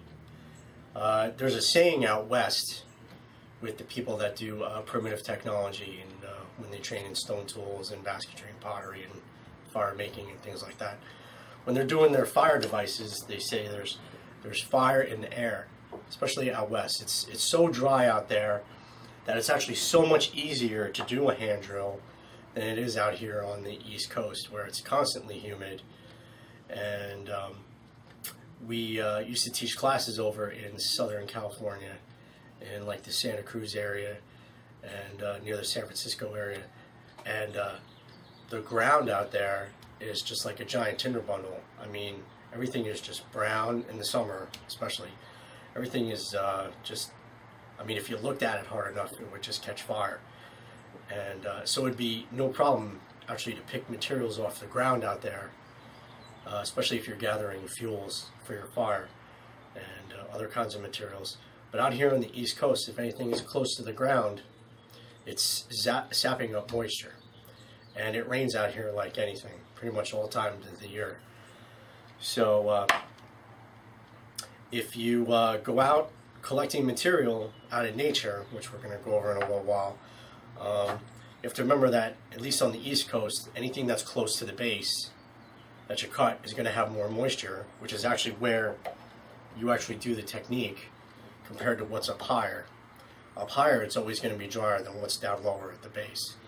So when you cut this, you might not be able to just, you know, in nature, just get a fire going because this has more moisture. So uh, one of the things you do need to think about is that if there is extra moisture, uh, and I'm talking like not green, but it's still dead, but it has moisture in it, you can actually just dry it out. Now, if you're not in a hurry to get a fire and you already have a fire or something like that, or um, you're not in a survival situation, you could uh, kiln dry them in your oven or in your toaster or something like that for a little while and dry them out. Or you can lay them out in the sun if it's not raining, if the weather is more to your favor, off the ground. Or the other thing you could do is, is pick a method that doesn't require a lot of energy um, I've seen people do this, for example, with uh, the bow drill. They have their spindles, and what they do is they're a little bit wet, and what they do is they just go longer with their method, um, which pulls the moisture out of the wood, dries out the wood with the heat, and then it ignites. So um, we've even done experiments where we take our hand drill or um, bow drill, and we actually dunk them in a pail of water. I don't mean like soak them, but I mean like dunk them. Practicing like if uh, we were in like a rain type situation. And then what we would do is we would just go longer with our method and dry them out and get a fire going that way and just practice that way, which is uh, kind of ups the ante a little bit, gives you a little bit more training. It's fun too. But you begin to realize um, what it is that you kind of need to fix with your your form and your your abilities and your methods. So, because uh, what will happen is, is the moisture and the humidity, what it does is it keeps the temperature low. Because we're trying to get this to a critical temperature in order for the dust to be able to ignite. While moisture in the wood is always going to keep it from achieving that critical temperature. It's always going to kind of just kind of put out your uh, attempts from being able to do that. So uh, the least amount of moisture in your apparatus, in your method, is always going to be to your benefit because it's always just going to work against you. And uh, in the air, uh, if it's precipitating or anything like that, it's going to make it harder too. So usually one of the other methods other than a hand drill is going to be more successful in uh, damp, humid, rainy, precipitating weather. Okay, you have to think about um, how much energy you're going to be able to use, if your health uh, is going to be uh, at risk for, for doing this kind of method, those kind of things you have to kind of all think out. And uh, obviously you would never cut or use anything green and try to get a fire out of that because it has just way too much moisture. And you would ex be expending an extraordinarily amount of time trying to uh, think that you're even going to get that dried out before it'll even start to work. Um, so that's usually uh, almost never. I can almost say if there's a never, it's that's not a way to go. Ever is to use anything green. So uh, unless you're practicing your method and you're not caring about actually getting a coal, but just working on your form, if you want to use something green, then that's fine. But uh, when it comes down to the wire and you actually need a fire, you're never going to use anything green. Okay, just so you know. All right. So the next variable we're going to talk about is wood density or the hardness of the wood itself. So um, again, this is where plant and tree and bamboo, which is a grass, identification is very important because knowing what it is that you're collecting um, they all have different hardnesses. For example, uh, cattail. Uh, the cattail stalk spindle is very light and uh, is one of the easier ones to get going, uh, along with yucca. Yucca is also an especially good one, especially out west. Uh, they make excellent hand. And what really makes them excellent is their their, their density and their hardness is on the low scale, which means that you can use less energy to apply pressure to get this to a critical ignition temperature. Okay, so the harder the wood, the harder the wood, okay, um, the more energy and the more pressure you're going to need to expend to create more friction to reach critical temperature. So knowing your density and hardness of the woods is very important. Um, one of the ways you can test it is what's called the thumbnail test. It's not always that reliable, but if you can make a dent in it with your thumbnail, um, and if it doesn't just crush or disintegrate, which means that it won't reach critical temperature to begin with because it'll just destroy itself anyway. Um, it has to be hard enough to be able to hold together. It can't be that rotten. It has to be able to hold together to be able to um, deal with all the pressure and the speed uh, to be able to reach critical ignition temperature. Okay, um, but it can't be so hard that you can't do it. So you kind of have to have an idea of your um, materials. Um, like I said, cattails and yuccas are on the lower side, the softer side require less energy. Um, you definitely would stay away from things like oaks, walnuts, hickories. You would never use those for hand material. I mean, it would be impossible for you to do hand drill that way. Um, you couldn't reach a critical temperature with something that hard. Um, so you want to kind of stick with things that are uh, on the medium hard side. Um, when we go over advanced hand drill, I'm going to go over what all of these are, these plant stalks. But um, when you're doing all the methods, for example, bow drills and uh, pump drills, you're going to want the medium woods, like the cedars. You're going to want Atlantic white cedar or western red cedar, uh, willows, cottonwoods, aspens, poplars, um, sycamore is good, um, ailanthus, which is very common, and uh, sumacs are good. Not poison sumac, but you know the, the regular sumacs. Um, another thing you have to be careful of, like I said before, is knots. Like uh, in talking about our base, some woods have, uh, when you're looking at the pine boards, for example, they have knots in them. And that's a different hardness than the rest of the board because a knot is like a, a place of where a branch is coming out of the side of the wood. It's a different hardness. So make sure that wherever it is that you're doing your drilling, or you're doing your sawing method, or your plow method, or whatever, that you're staying away from knots. Okay, because it, what it's going to do is throw off your method. Find an area that's clear of knots, which is a different hardness. Um, uh, the other thing too is uh, remember again that weathering is going to have an effect on the hardness of the material. Uh, I mentioned the mugwort earlier that it needs to be a little bit more weathered for it to disintegrate more, for it to be able to be used as a uh, good hand drill material. Well, um, the same thing could be said of sassafras. If you just get uh, an early dead sassafras, it's still really hard um, it kind of is on the harder side of the medium hardwoods and you'll expend a whole lot of energy and you may not even get a coal. But if it sits out in the weather long enough, it's going to be on the softer end of the medium hardwood after a while. You have to get it before it's truly rotten and can't reach critical temperature where it just disintegrates. You have to get it just right where um, it's been out there long enough where it's soft enough for you to spend less energy to be able to get it to reach critical temperature. So uh, your identifications are really key to knowing uh, plants, trees, and bamboo and materials so you understand their density and hardness. That variable is very important. Okay?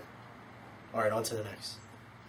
So also under the heading of hardnesses and density as a variable, um, there's two main scientific ways to measure hardness and density in wood. One is the Janka, J-A-N-K-A, hardness test, and the other is uh, specific gravity, where it's measured in water. Now the Janka test um, measures how much force it takes to fire a steel ball that's 11.28 millimeters in diameter which is uh, a little under half an inch or just over one centimeter. So a steel ball that size and the force it's that's required to plant that ball halfway, meaning that it goes down to the diameter of the ball if you were to take the sphere and cut it in half, okay? How much you could sink that ball halfway into the wood. Not halfway into the wood, but that the ball sinks halfway into the wood. Okay, so uh, the Janka test and the specific gravity test. Um, specific gravity is kind of where you kind of see how things kind of float in water um, in an overly simplified kind of explanation. It's a, a little more than that. And both of them have their variations because no two woods are the same. Even the same wood from the same species, they're not all going to be exactly the same. And the tests are always going to be a little off. But what they do, though, however, is kind of confirm uh, when you've already been working with woods, what you've kind of already guessed or kind of already had an idea. So, for example, these tests tell us that um, balsa wood uh, has less hardness than pine, and pine has less hardness than basswood, and what do we got? Chestnut has less hard is uh, basswood is less hard than chestnut. Chestnut is less hard than Douglas fir, and Douglas fir is less hard than cherry, which is not here, and uh, and sycamore.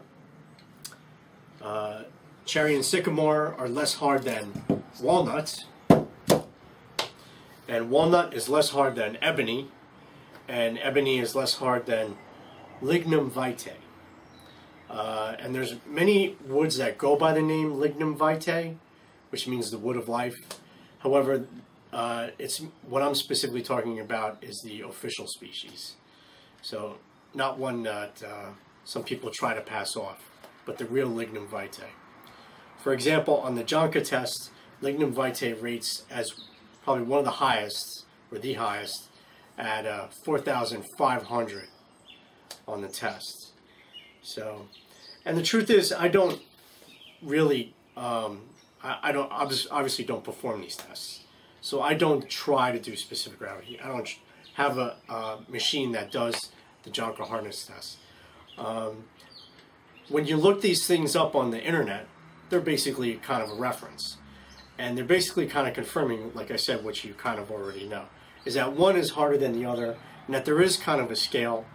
So uh, you might just kind of want to take a look at that uh, on the internet and uh, kind of get an idea of where things kind of just fall into place when it comes to hardness and density of certain kinds of woods. You may just kind of want to know, especially the ones that are located in your area.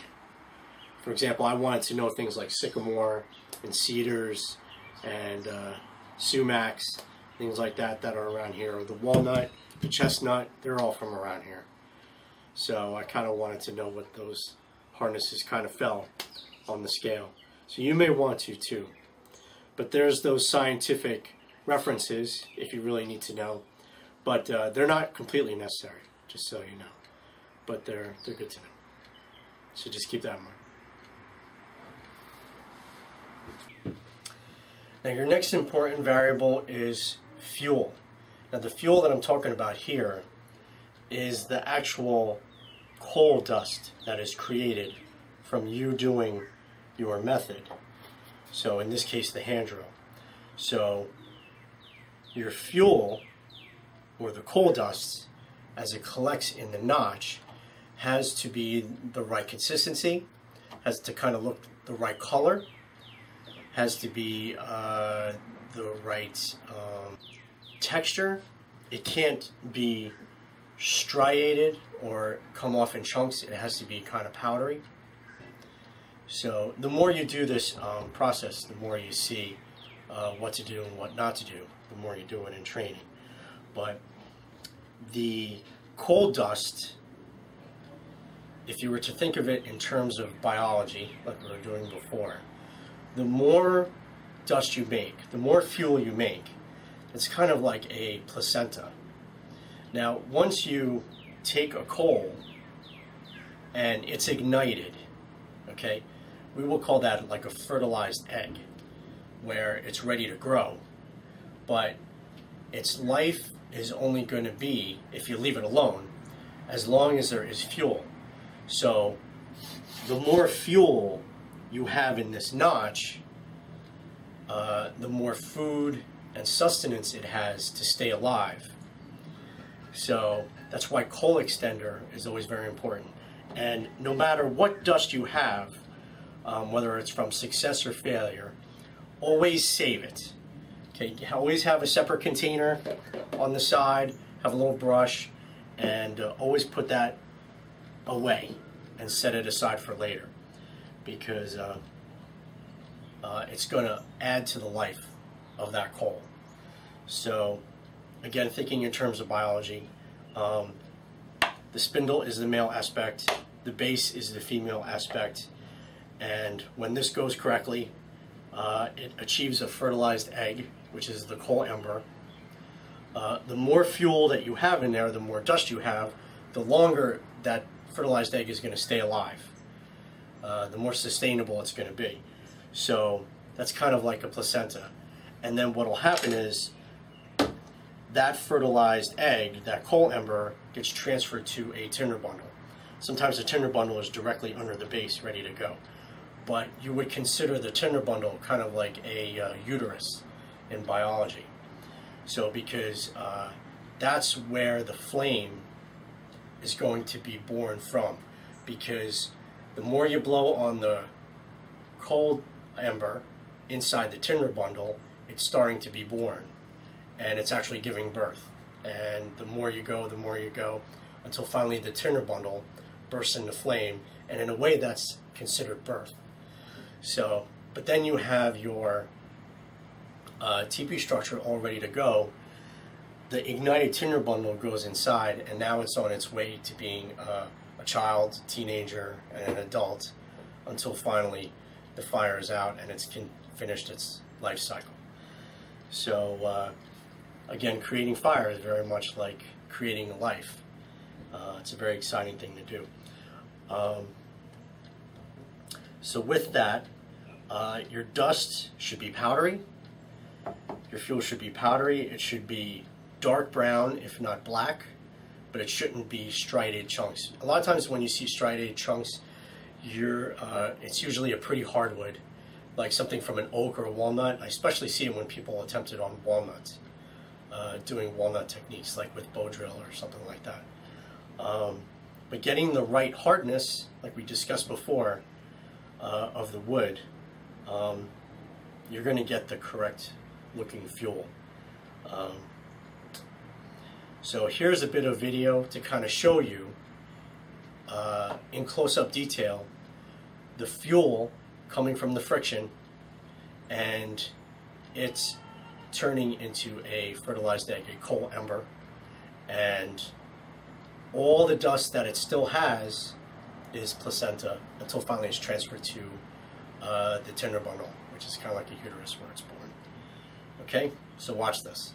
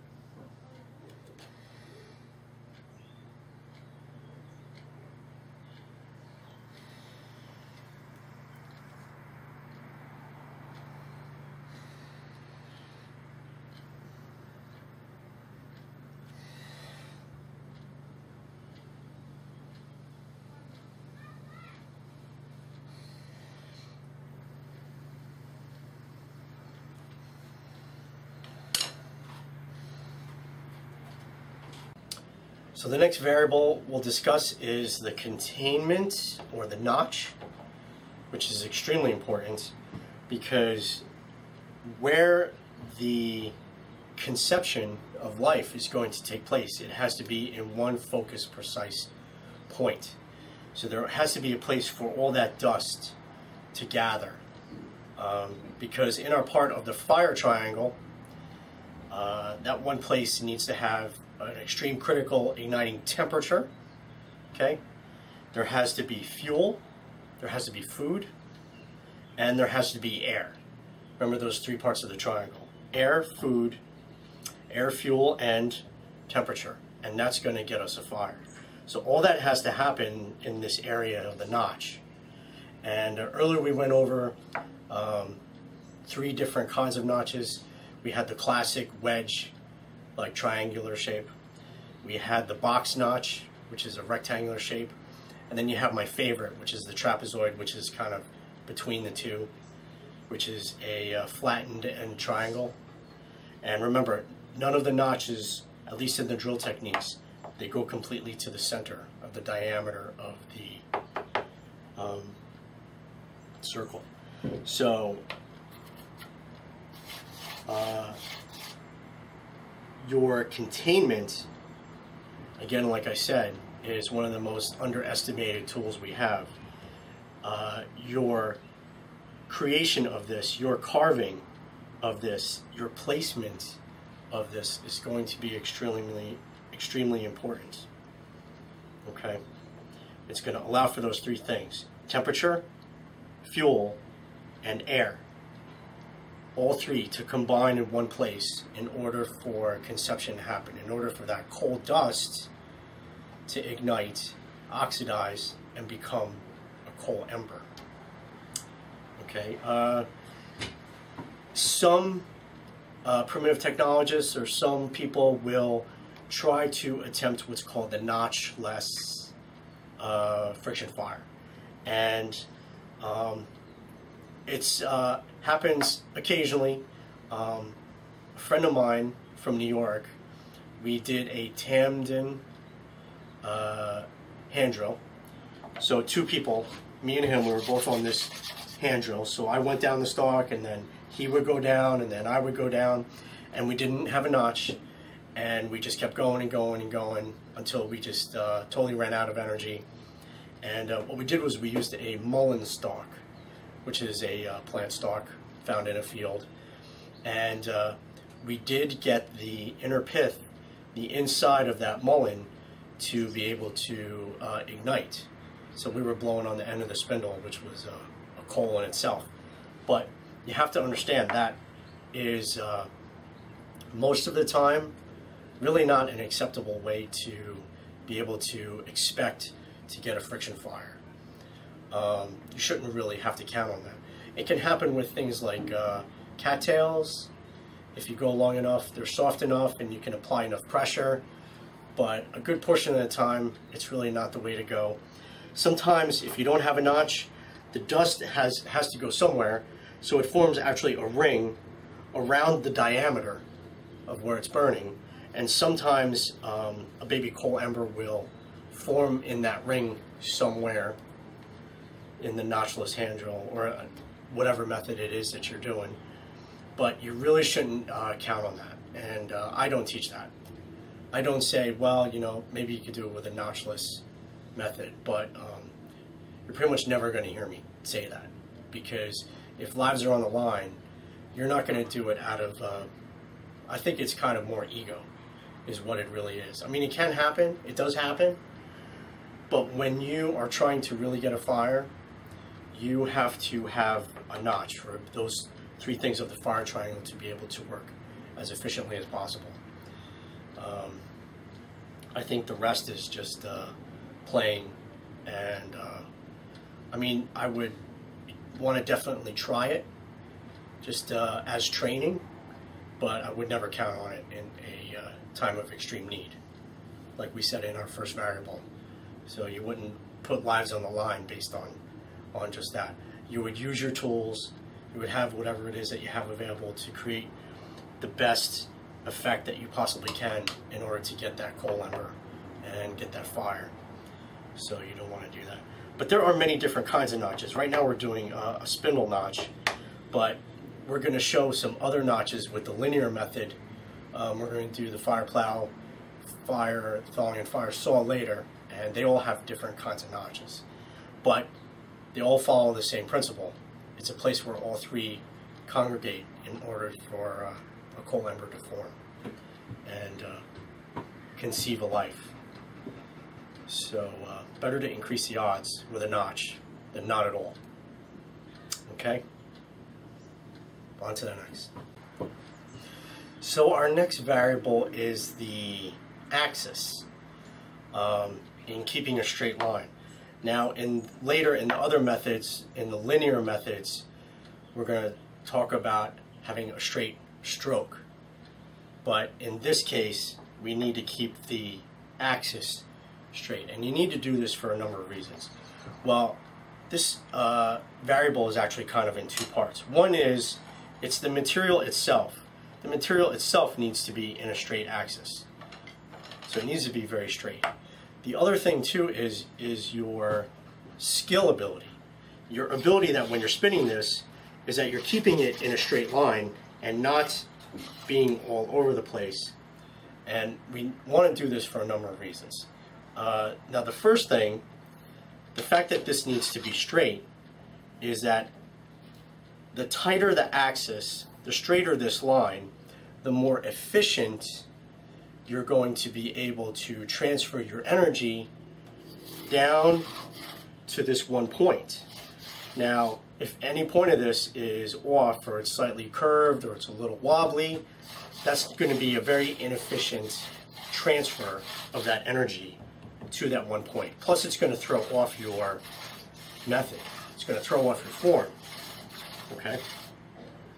Now you see that all by itself, it's fairly straight. But now the skill aspect comes in and keeping a straight line is going to focus all the pressure and all the speed and all the rotations in one place. Okay, now one of the uh, troubleshooting problems that you might run into is that one hand stays still and the other hand does all the turning. Well, that throws the axis off, you see. See, my left hand is staying still and my right hand is doing the spinning. But it has to actually be that both hands turn on exactly the same point all the time, which is why you have to have enough space to be free. Otherwise, you end up doing something like that, and you don't want to do that. And why don't you want to do that?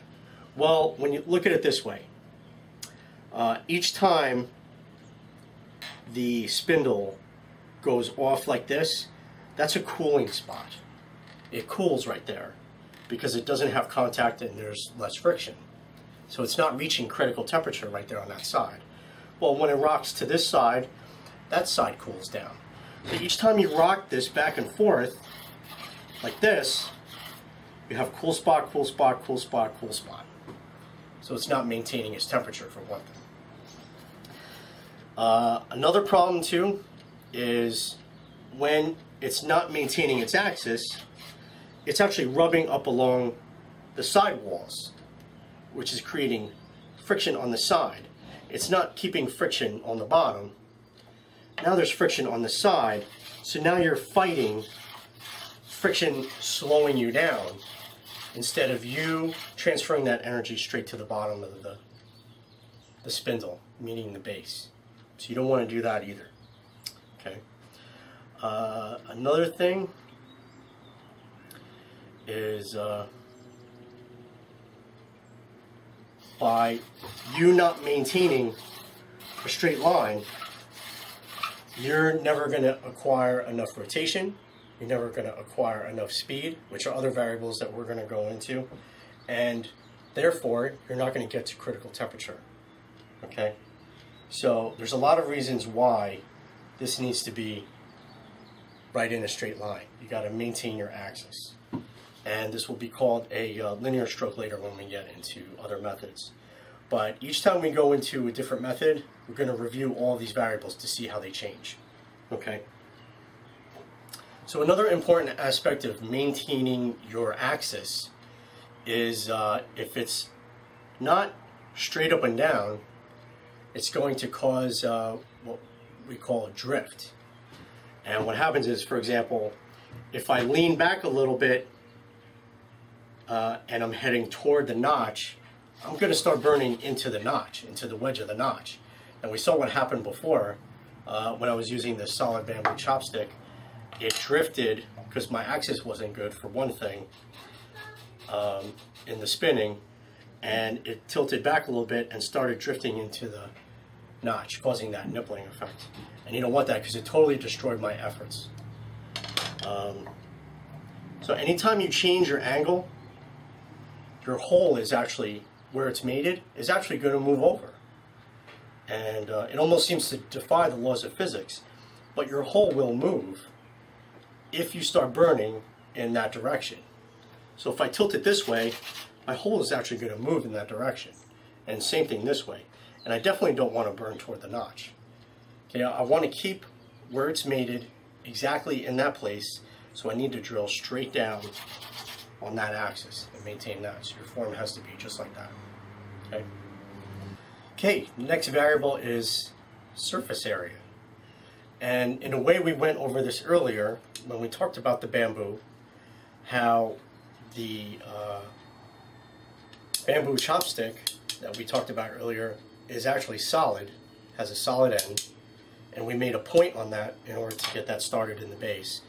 But then we had to carve out a hole for a diameter on the hollow bamboo, which has no center. And uh, but this is also uh, not just a difference of material; it's a difference of you being able to get a fire. Um, surface area uh, at least on the hollows, okay, they will always focus the friction better. Now, where you essentially want the friction to be is actually on the outside of the ring to begin with. Because um, that's where all the pressure is going to be. Uh, that's where all the friction is going to be. And uh, what happens is with the center, at least in the solids, the center spins slower than the outside. So here's what you'll always see when you're doing a solid. It will always round off because the center isn't burning as much as the outside.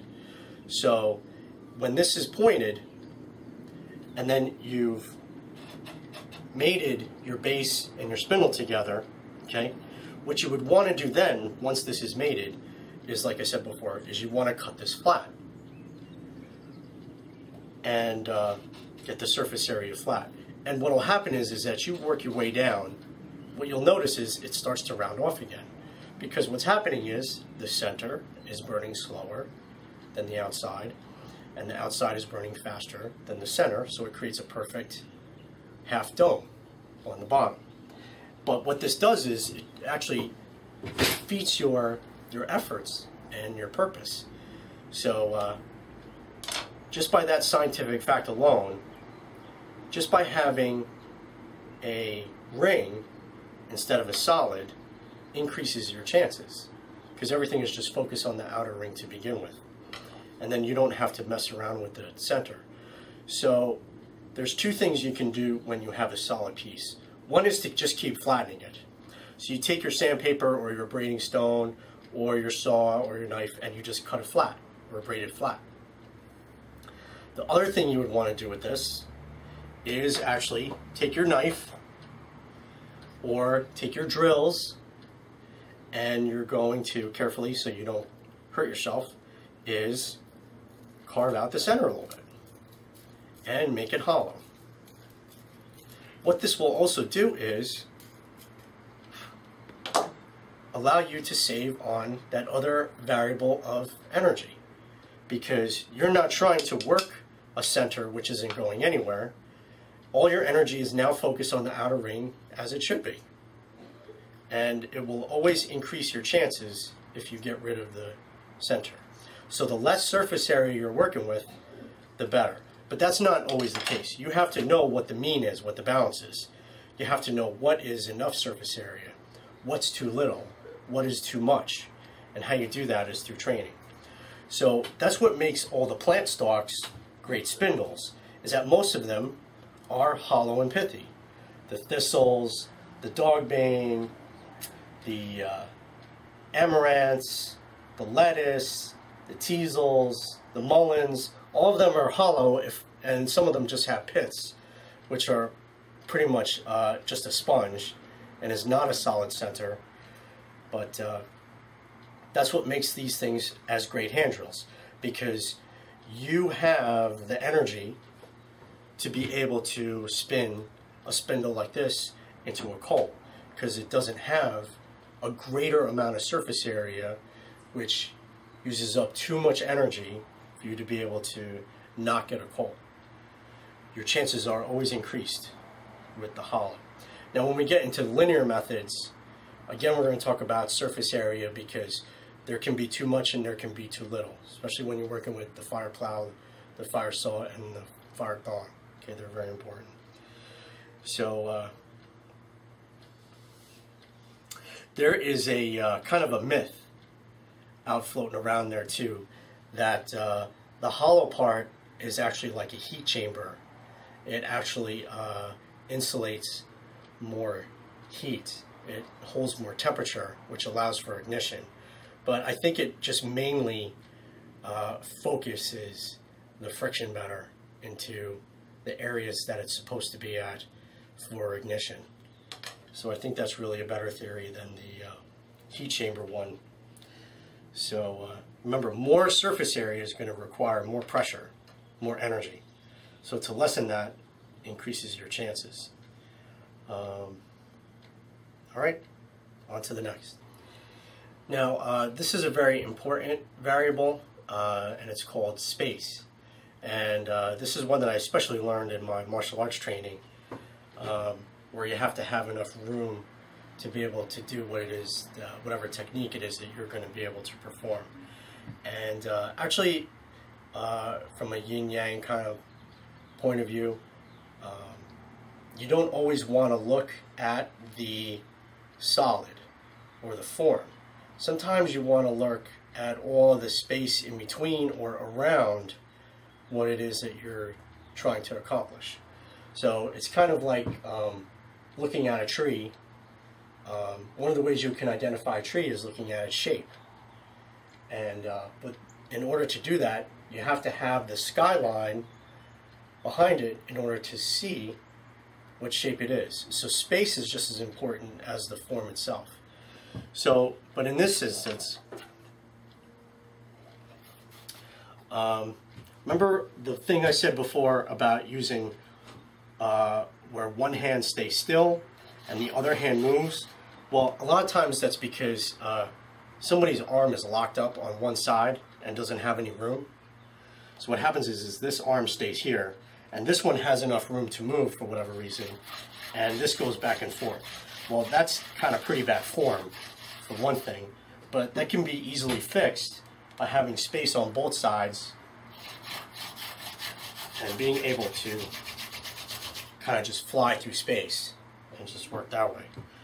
Um, so when we get into other methods, there's going to be like string or cordage placement, like for example on your bow drill, you have to have enough room for it to be able to move up and down. Um, another thing about space, especially with the hand drill, is the um, length of the spindle itself. Okay, because if I have a shorter hand drill, I've limited my space in a sense, especially if I'm in a sitting position or a kneeling position or kind of like a, a crouched position. Okay, I've limited my space because I need to be around this thing and have my body weight on top of it. So this is why a lot of times in, uh, in practice, I'm always working on a table. But um, when I'm kind of getting serious about my practicing and I'm in proper form, uh, I have to do it in my actual sitting or kneeling or um, standing position if my spindle is long enough. But for training purposes, sometimes I'll have a spindle, like I said before, it's like maybe three inches long. And I only have that much space to work with to be able to spin down. So, Um, another thing about space is uh, you have to, wherever it is you're doing your, your method, if you're going to actually ignite a fire, that, you know, your TP fire isn't like all the way down over there. So you should be kind of near your TP fire. The ground is clear of any kind of obstacles uh, that would be in your way. Um, everything should just be kind of giving you enough room to be able to perform whatever it is the method that you're doing. And again, we'll go over this with other methods so you can see the problems you can run into. Uh, like I was mentioned earlier, when you're doing uh, the kneeling form, you have to be able to open up your hips. Well, that gives you space because if your hips were like this, or if your knee was like this, I couldn't move this one side. So you have to kind of open up this hip, give yourself space to be able to perform the technique if you're holding the base with your foot or something like that. So having enough room, having enough space to be able to perform whatever it is that you're going to do uh, is a key variable in itself too. All right, so on to the next. Okay, so pressure, very important variable here. Um, in the hand drill, in the case of the hand drill method, you are the pressure. Okay, uh, this is again the less pieces you have, the more energy is required. And uh, one of those important energies you need to transfer down here is pressure, because pressure is what creates the friction. So if there's no pressure, there's not going to be any friction. Okay, um, and those two aspects of the fire triangle, temperature and fuel, uh, are not going to come about if there's no pressure. Now, friction comes from pressure, but there's two kinds of frictions that is going on. Okay, now the friction that we always think of is the um, heat that comes from friction. That we think that we're just raising the temperature, but we're actually doing two things at once. There's a friction that causes abrasion. Uh, and you have to kind of think of it as uh, like grinding in a, a, a, grain wheel. If you've ever seen that, a primitive grain wheel, where they throw grain in between two stones and the wheel grinds all that down into a fine powder. Well, the pressure of the wood on wood here not only increases the temperature, but takes pieces of wood off, very fine pieces, and ignites them as it runs under the wood going back on itself. So we'll go over that again later. But um, you're not going to be able to get fuel because it won't make powder if you don't have enough pressure, and it won't ignite to the temperature, that critical igniting temperature that you're looking for to make fire in that fire triangle if you don't have enough pressure. So this is why your form in your method of the hand drill has to be really key. And again, this is the, out of all the methods, I think is the really the, the most basic and the key one to learn. So uh, you're going to see as we go over other methods that you're able to better increase your chances of putting down more pressure with less energy expenditure. And uh, when we finally get to the toggle drill, you're going to be amazed by the things that we're going to be able to uh, pull off. Things that I used to think that were impossible actually turn out to be uh, the easiest things I've ever seen. So uh, again, I'll be going over that. Less pieces, uh, more energy, and vice versa. Uh, more pieces, less energy, kind of thing as we go up the scale with methods. So pressure, at least in the hand drill, you are the pressure. So maintaining your axis, getting right alongside the spindle. Okay. And you are the you are the pressure.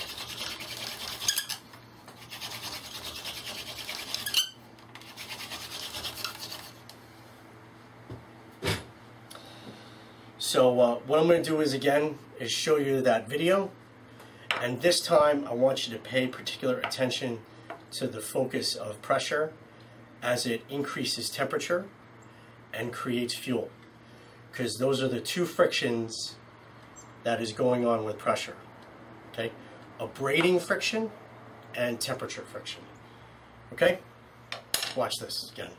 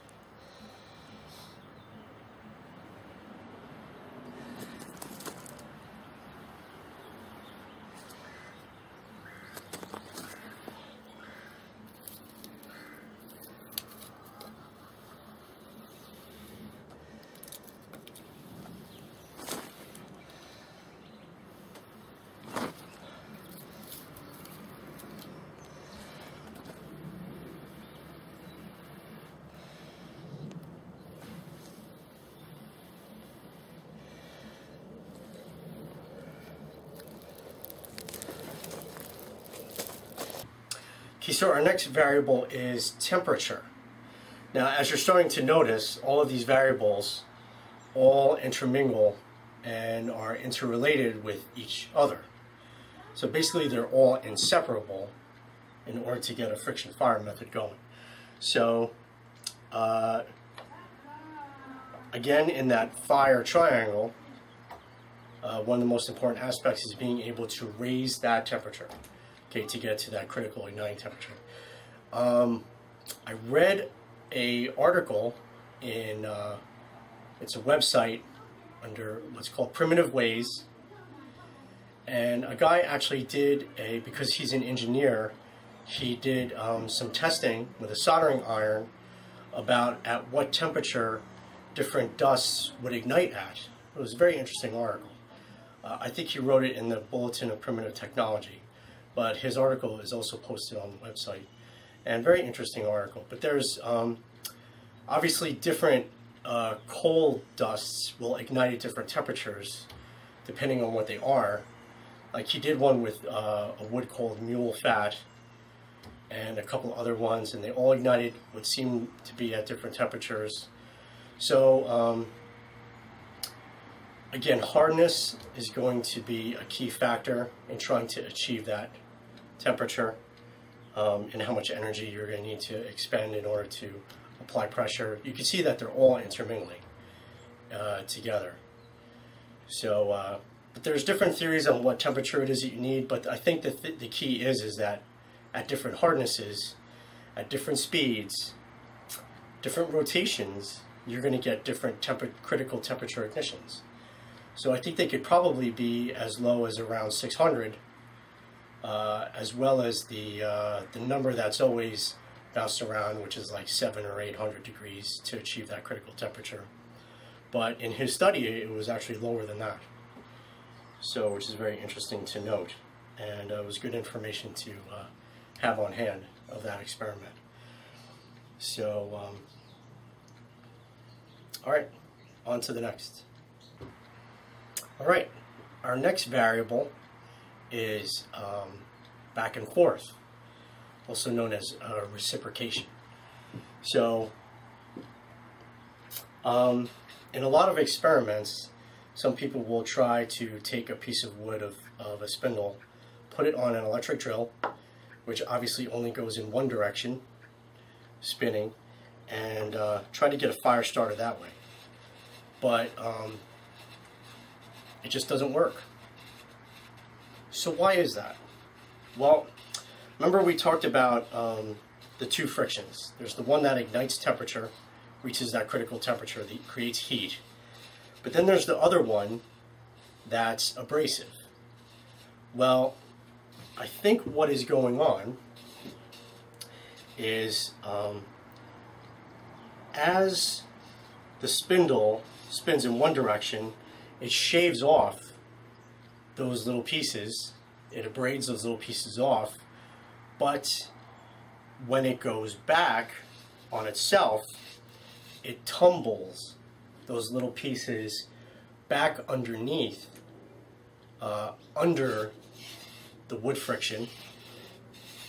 As it goes back and forth, it tumbles inside underneath all that pressure, and that's where the powder actually ignites. Because if you were to just go in one direction, then again you have that grain mill effect where the stone just throws out the powder of like uh, if you're grinding wheat, it would be flour that comes out. And you notice uh, if you ever look at a grinding stone, how the powder just comes off on the sides. It's just splayed out in a spiral. Well, I think it doesn't get a chance to ignite because it just gets thrown out. But the fact that it, it goes back again and tumbles under itself is what allows it to oxidize and uh, achieve that critical temperature for those small little pieces of powder to ignite.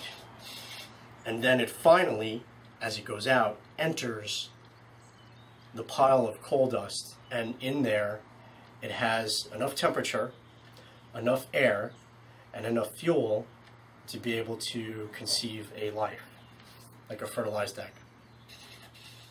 So this reciprocation this back and forth motion is actually extremely important as an aspect, but uh, I think it's very key that the dust tumbles back on itself inside where the friction is, where the two frictions are. So, right, on to the next. Another critical variable, and actually it's one of them that's part of the fire triangle, is air or oxygen. Now, um, when we were talking about the TP fire uh, and uh, the hearth and all that stuff, um, I mentioned things about like windbreaks, about econo uh, being economical with your fuel, because when wind gets in your fuel, your fire, it burns your fuel faster. Okay, but in this instance, the air is uh, necessary in order for ignition here. And there needs to be a good balance of that. Now, too much air, and uh, a lot of this is key with the notch, the notch size.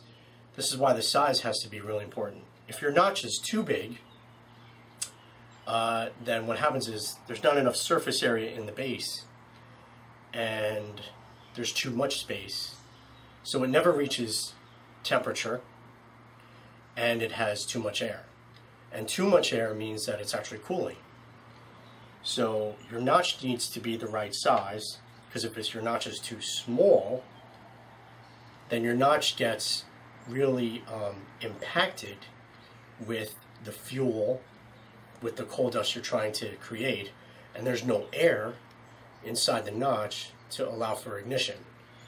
So there has you have to strike a balance with the notch for air to get inside.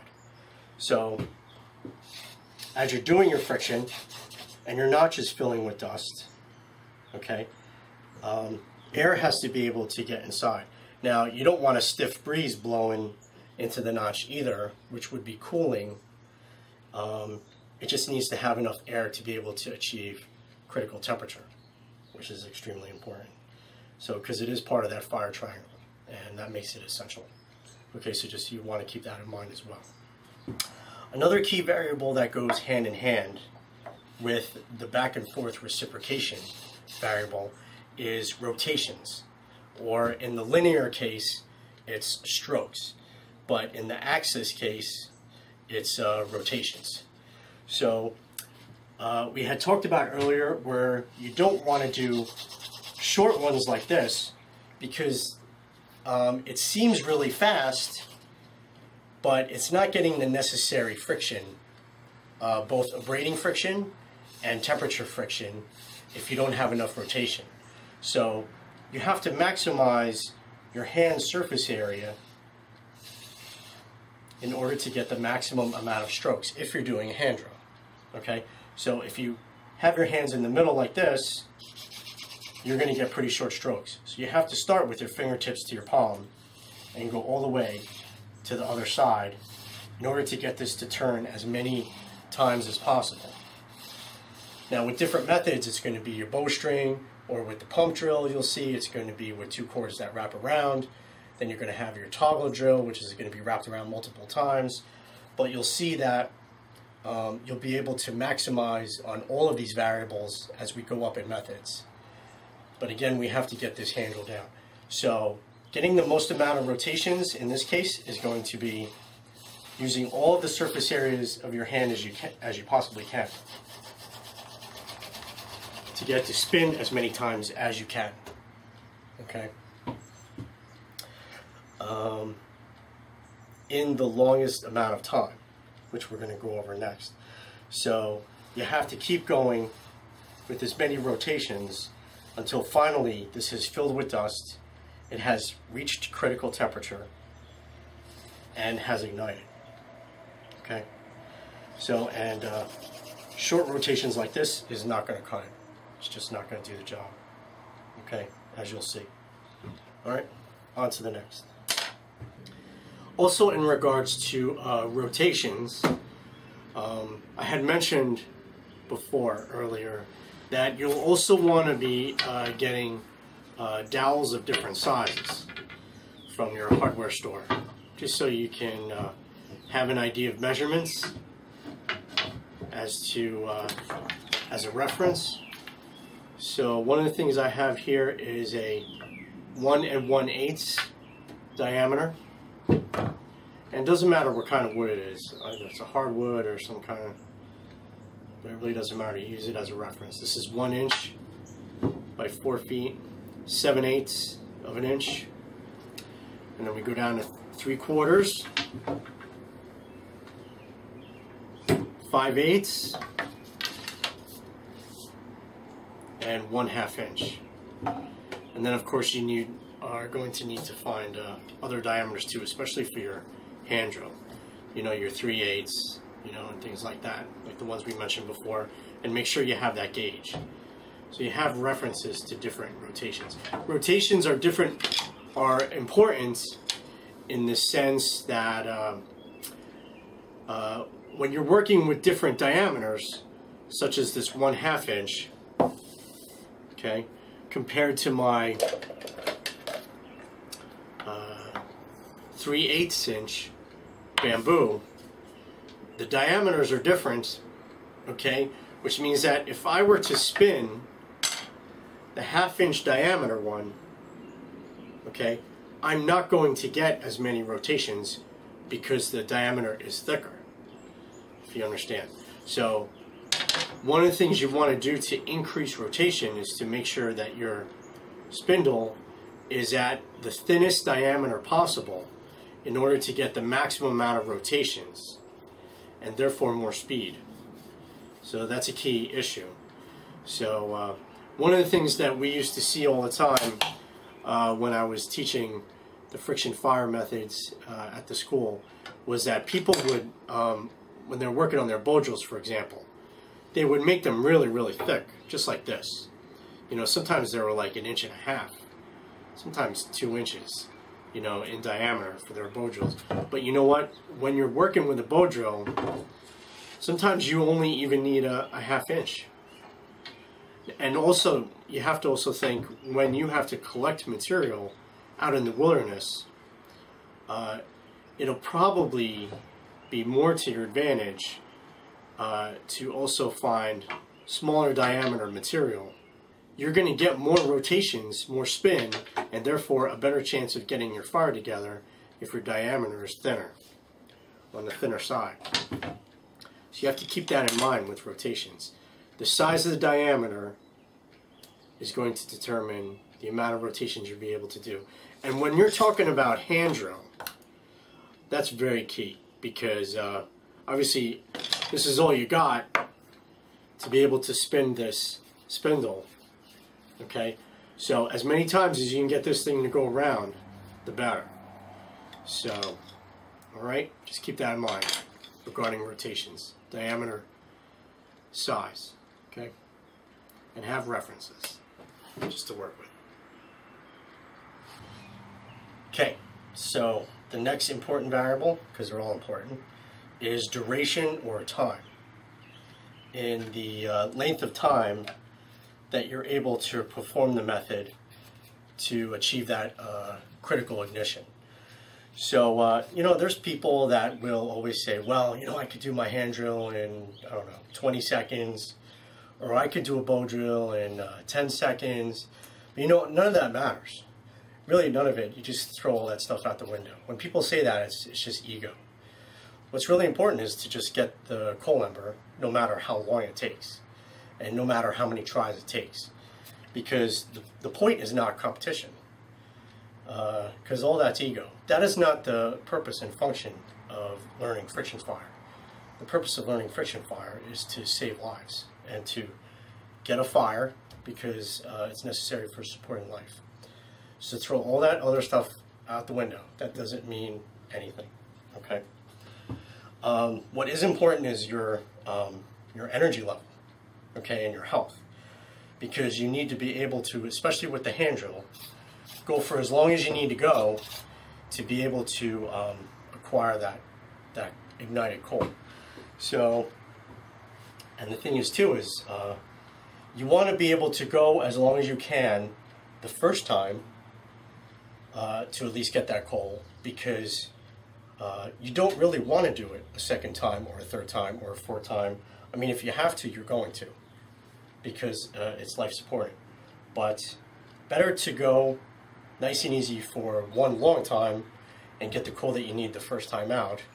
Not for ego, but because it's uh, the more economical and more sustainable way to go than to have to kind of keep doing it multiple times. So make sure all your pieces are cut the way they're supposed to be, that everything is in place, and that you're finally settled in, ready to go, and like, okay, you just need to do your rotations, um, maintain your speed, maintain your pressure, and balance all your variables and just get it going. But that just has to happen over a period of time. So in your period of time that you're doing this, um, it's broken down kind of into uh, different areas of time. So your first time is your warm-up. Now you're not necessarily adding a whole lot of pressure. Now I can see that there's little bits of dust starting to form. I'm not giving it a whole lot of pressure, but I want to give the woods a chance to heat up. And again, it's that concept that I talked about before about um, getting your water to boil. Okay, your water has to achieve a temperature of the uh, boiling point before it can actually get to a rolling boil. So let's say it's sort of achieved that temperature now. So now I'm going to add a little bit more pressure. I'm doing as much rotation as I can, which allows for a lot of speed at the same time. I'm maintaining my axis as best I can. I have a lot of space. So I'm able to fly through space and um, after you warm up and you start to uh, create pressure, I did actually two things. I uh, filled the notch with dust and I started to get it to critical igniting temperature. Which you can see the coal down there now. Alright? But you have to be able to go long enough to be able to get it to that point. Okay, but again, all of your pieces, all of your variables need to be in place for you to last to be able to achieve that as well. Okay.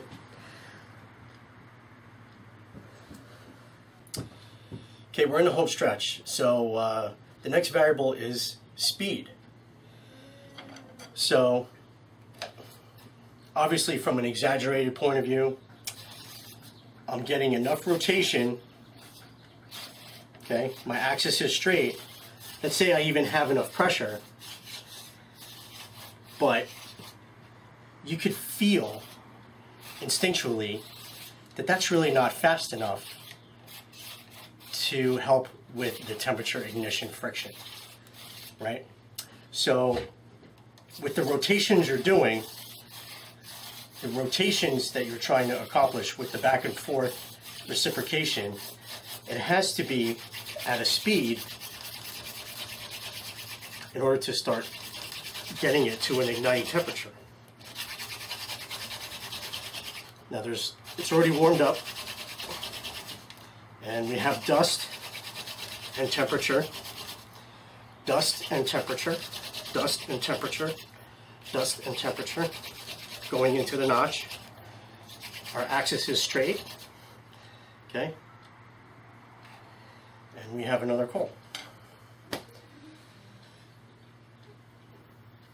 So as you can see, uh, you have to have the right amount of speed as well to get to that critical temperature and uh, get those two frictions, abrading friction as well as uh, temperature friction. Okay, and our last variable is stability. And this is a really key important one. They're all key and important, but uh, uh, we're going to start with the base. Now, uh, your material as well has to be stable and strong enough and able enough to be able to uh, structurally fulfill its function and its purpose. Now, as you can see with these, this hand drill base of cedar, now the grain is running this way. So what happens is we have all these holes with these notches, and as you can see what happens is here, where all the notches are lined up, it's very weak because it's against the grain. And uh, as you can see, if you're not careful, they, uh, they, they just break and pop off. So uh, you can uh, remedy this by creating more space between the holes and the notches, for one thing. Uh, another point of stability is your base can't be allowed to move because you'll be doing your technique and your base is moving all around and that's just destroying all your efforts because your notch is the place where everything is supposed to be concentrated and focused while you're losing fuel, uh, the air balance isn't right, uh, you're not achieving, achieving good temperature because now your axis is off because you're all over the place. Your base has to always be stable. However it is that you have to do that. Now, um, primitively, if I'm not kneeling or stepping on this board in one manner, I'm going to take sticks or stakes and I'm going to pin the base to the ground in one form or another. So that way it doesn't move. So uh, that's one way to do that. But uh, most of the time, you're going to be practicing your technique and your method, and you're going to be doing this in a sitting, kneeling kind of position where the base is, is going to be stable and supported. Um, braced against you in some way. Now the other thing too is, is if your spindle isn't straight, or if your board uh, is crooked or wobbly or has a uh, uh, airplane wing um, curve into it, it's not going to sit flat and stable, okay? Even if you have it braced under your foot, it may still move because, um, because of its shape. So uh, you have to have all these factors in mind. Now, if the spindle isn't straight, sometimes that can cause a vibration. And uh, the vibration alone, with this being off, is enough to destroy your efforts in the notch and uh, not allow that coal to be able to form. Another thing could be, uh, when we get into other methods, is uh, you might have your tinder bundles sitting under your base to catch uh, your coal, so that it's automatically there. You would lift up your base, and your coal is sitting right there in the tinder bundle for you to blow into flame. But what can happen is fibers from the tinder bundle actually fold over and get into your, not only your notch, but inside where it's mated, and starts to destroy everything. So that would destroy the stability of what it is that you're trying to do as well. Um, and the other thing too is, is uh, your carvings have to all be precise. And your spindles have to uh, uh, all be not only straight, but completely cylindrical. Okay, because uh, for example, your side walls here, when it goes, when it gets mated, the spindle actually sinks down into the base a little bit, right? So these walls here has to be an excellent cylinder, okay? It can't have rough edges or you have sidewall friction that not only slows you down, but creates a horrible vibration in the base, catches the base, wants to spin the base around. Okay, so you have to kind of keep that in mind. Anything that's going to um, destroy the stability of what it is that you're trying to do. Um, when you're doing your hand drill method, okay, you have to be careful that you don't accidentally pop this up. So you're doing your method. In order to keep stability, you get to the bottom, hold this in place, put your other hand back at the top, shoot this one up, and work your way down again. Okay? And then you start all over again. Okay? To maintain your stability so that you don't do something like pop that out by accident or go off or in worst case scenario you bend this out and you actually bust this whole thing wide open. You've actually spread it apart, viced it apart, uh, wedged it apart.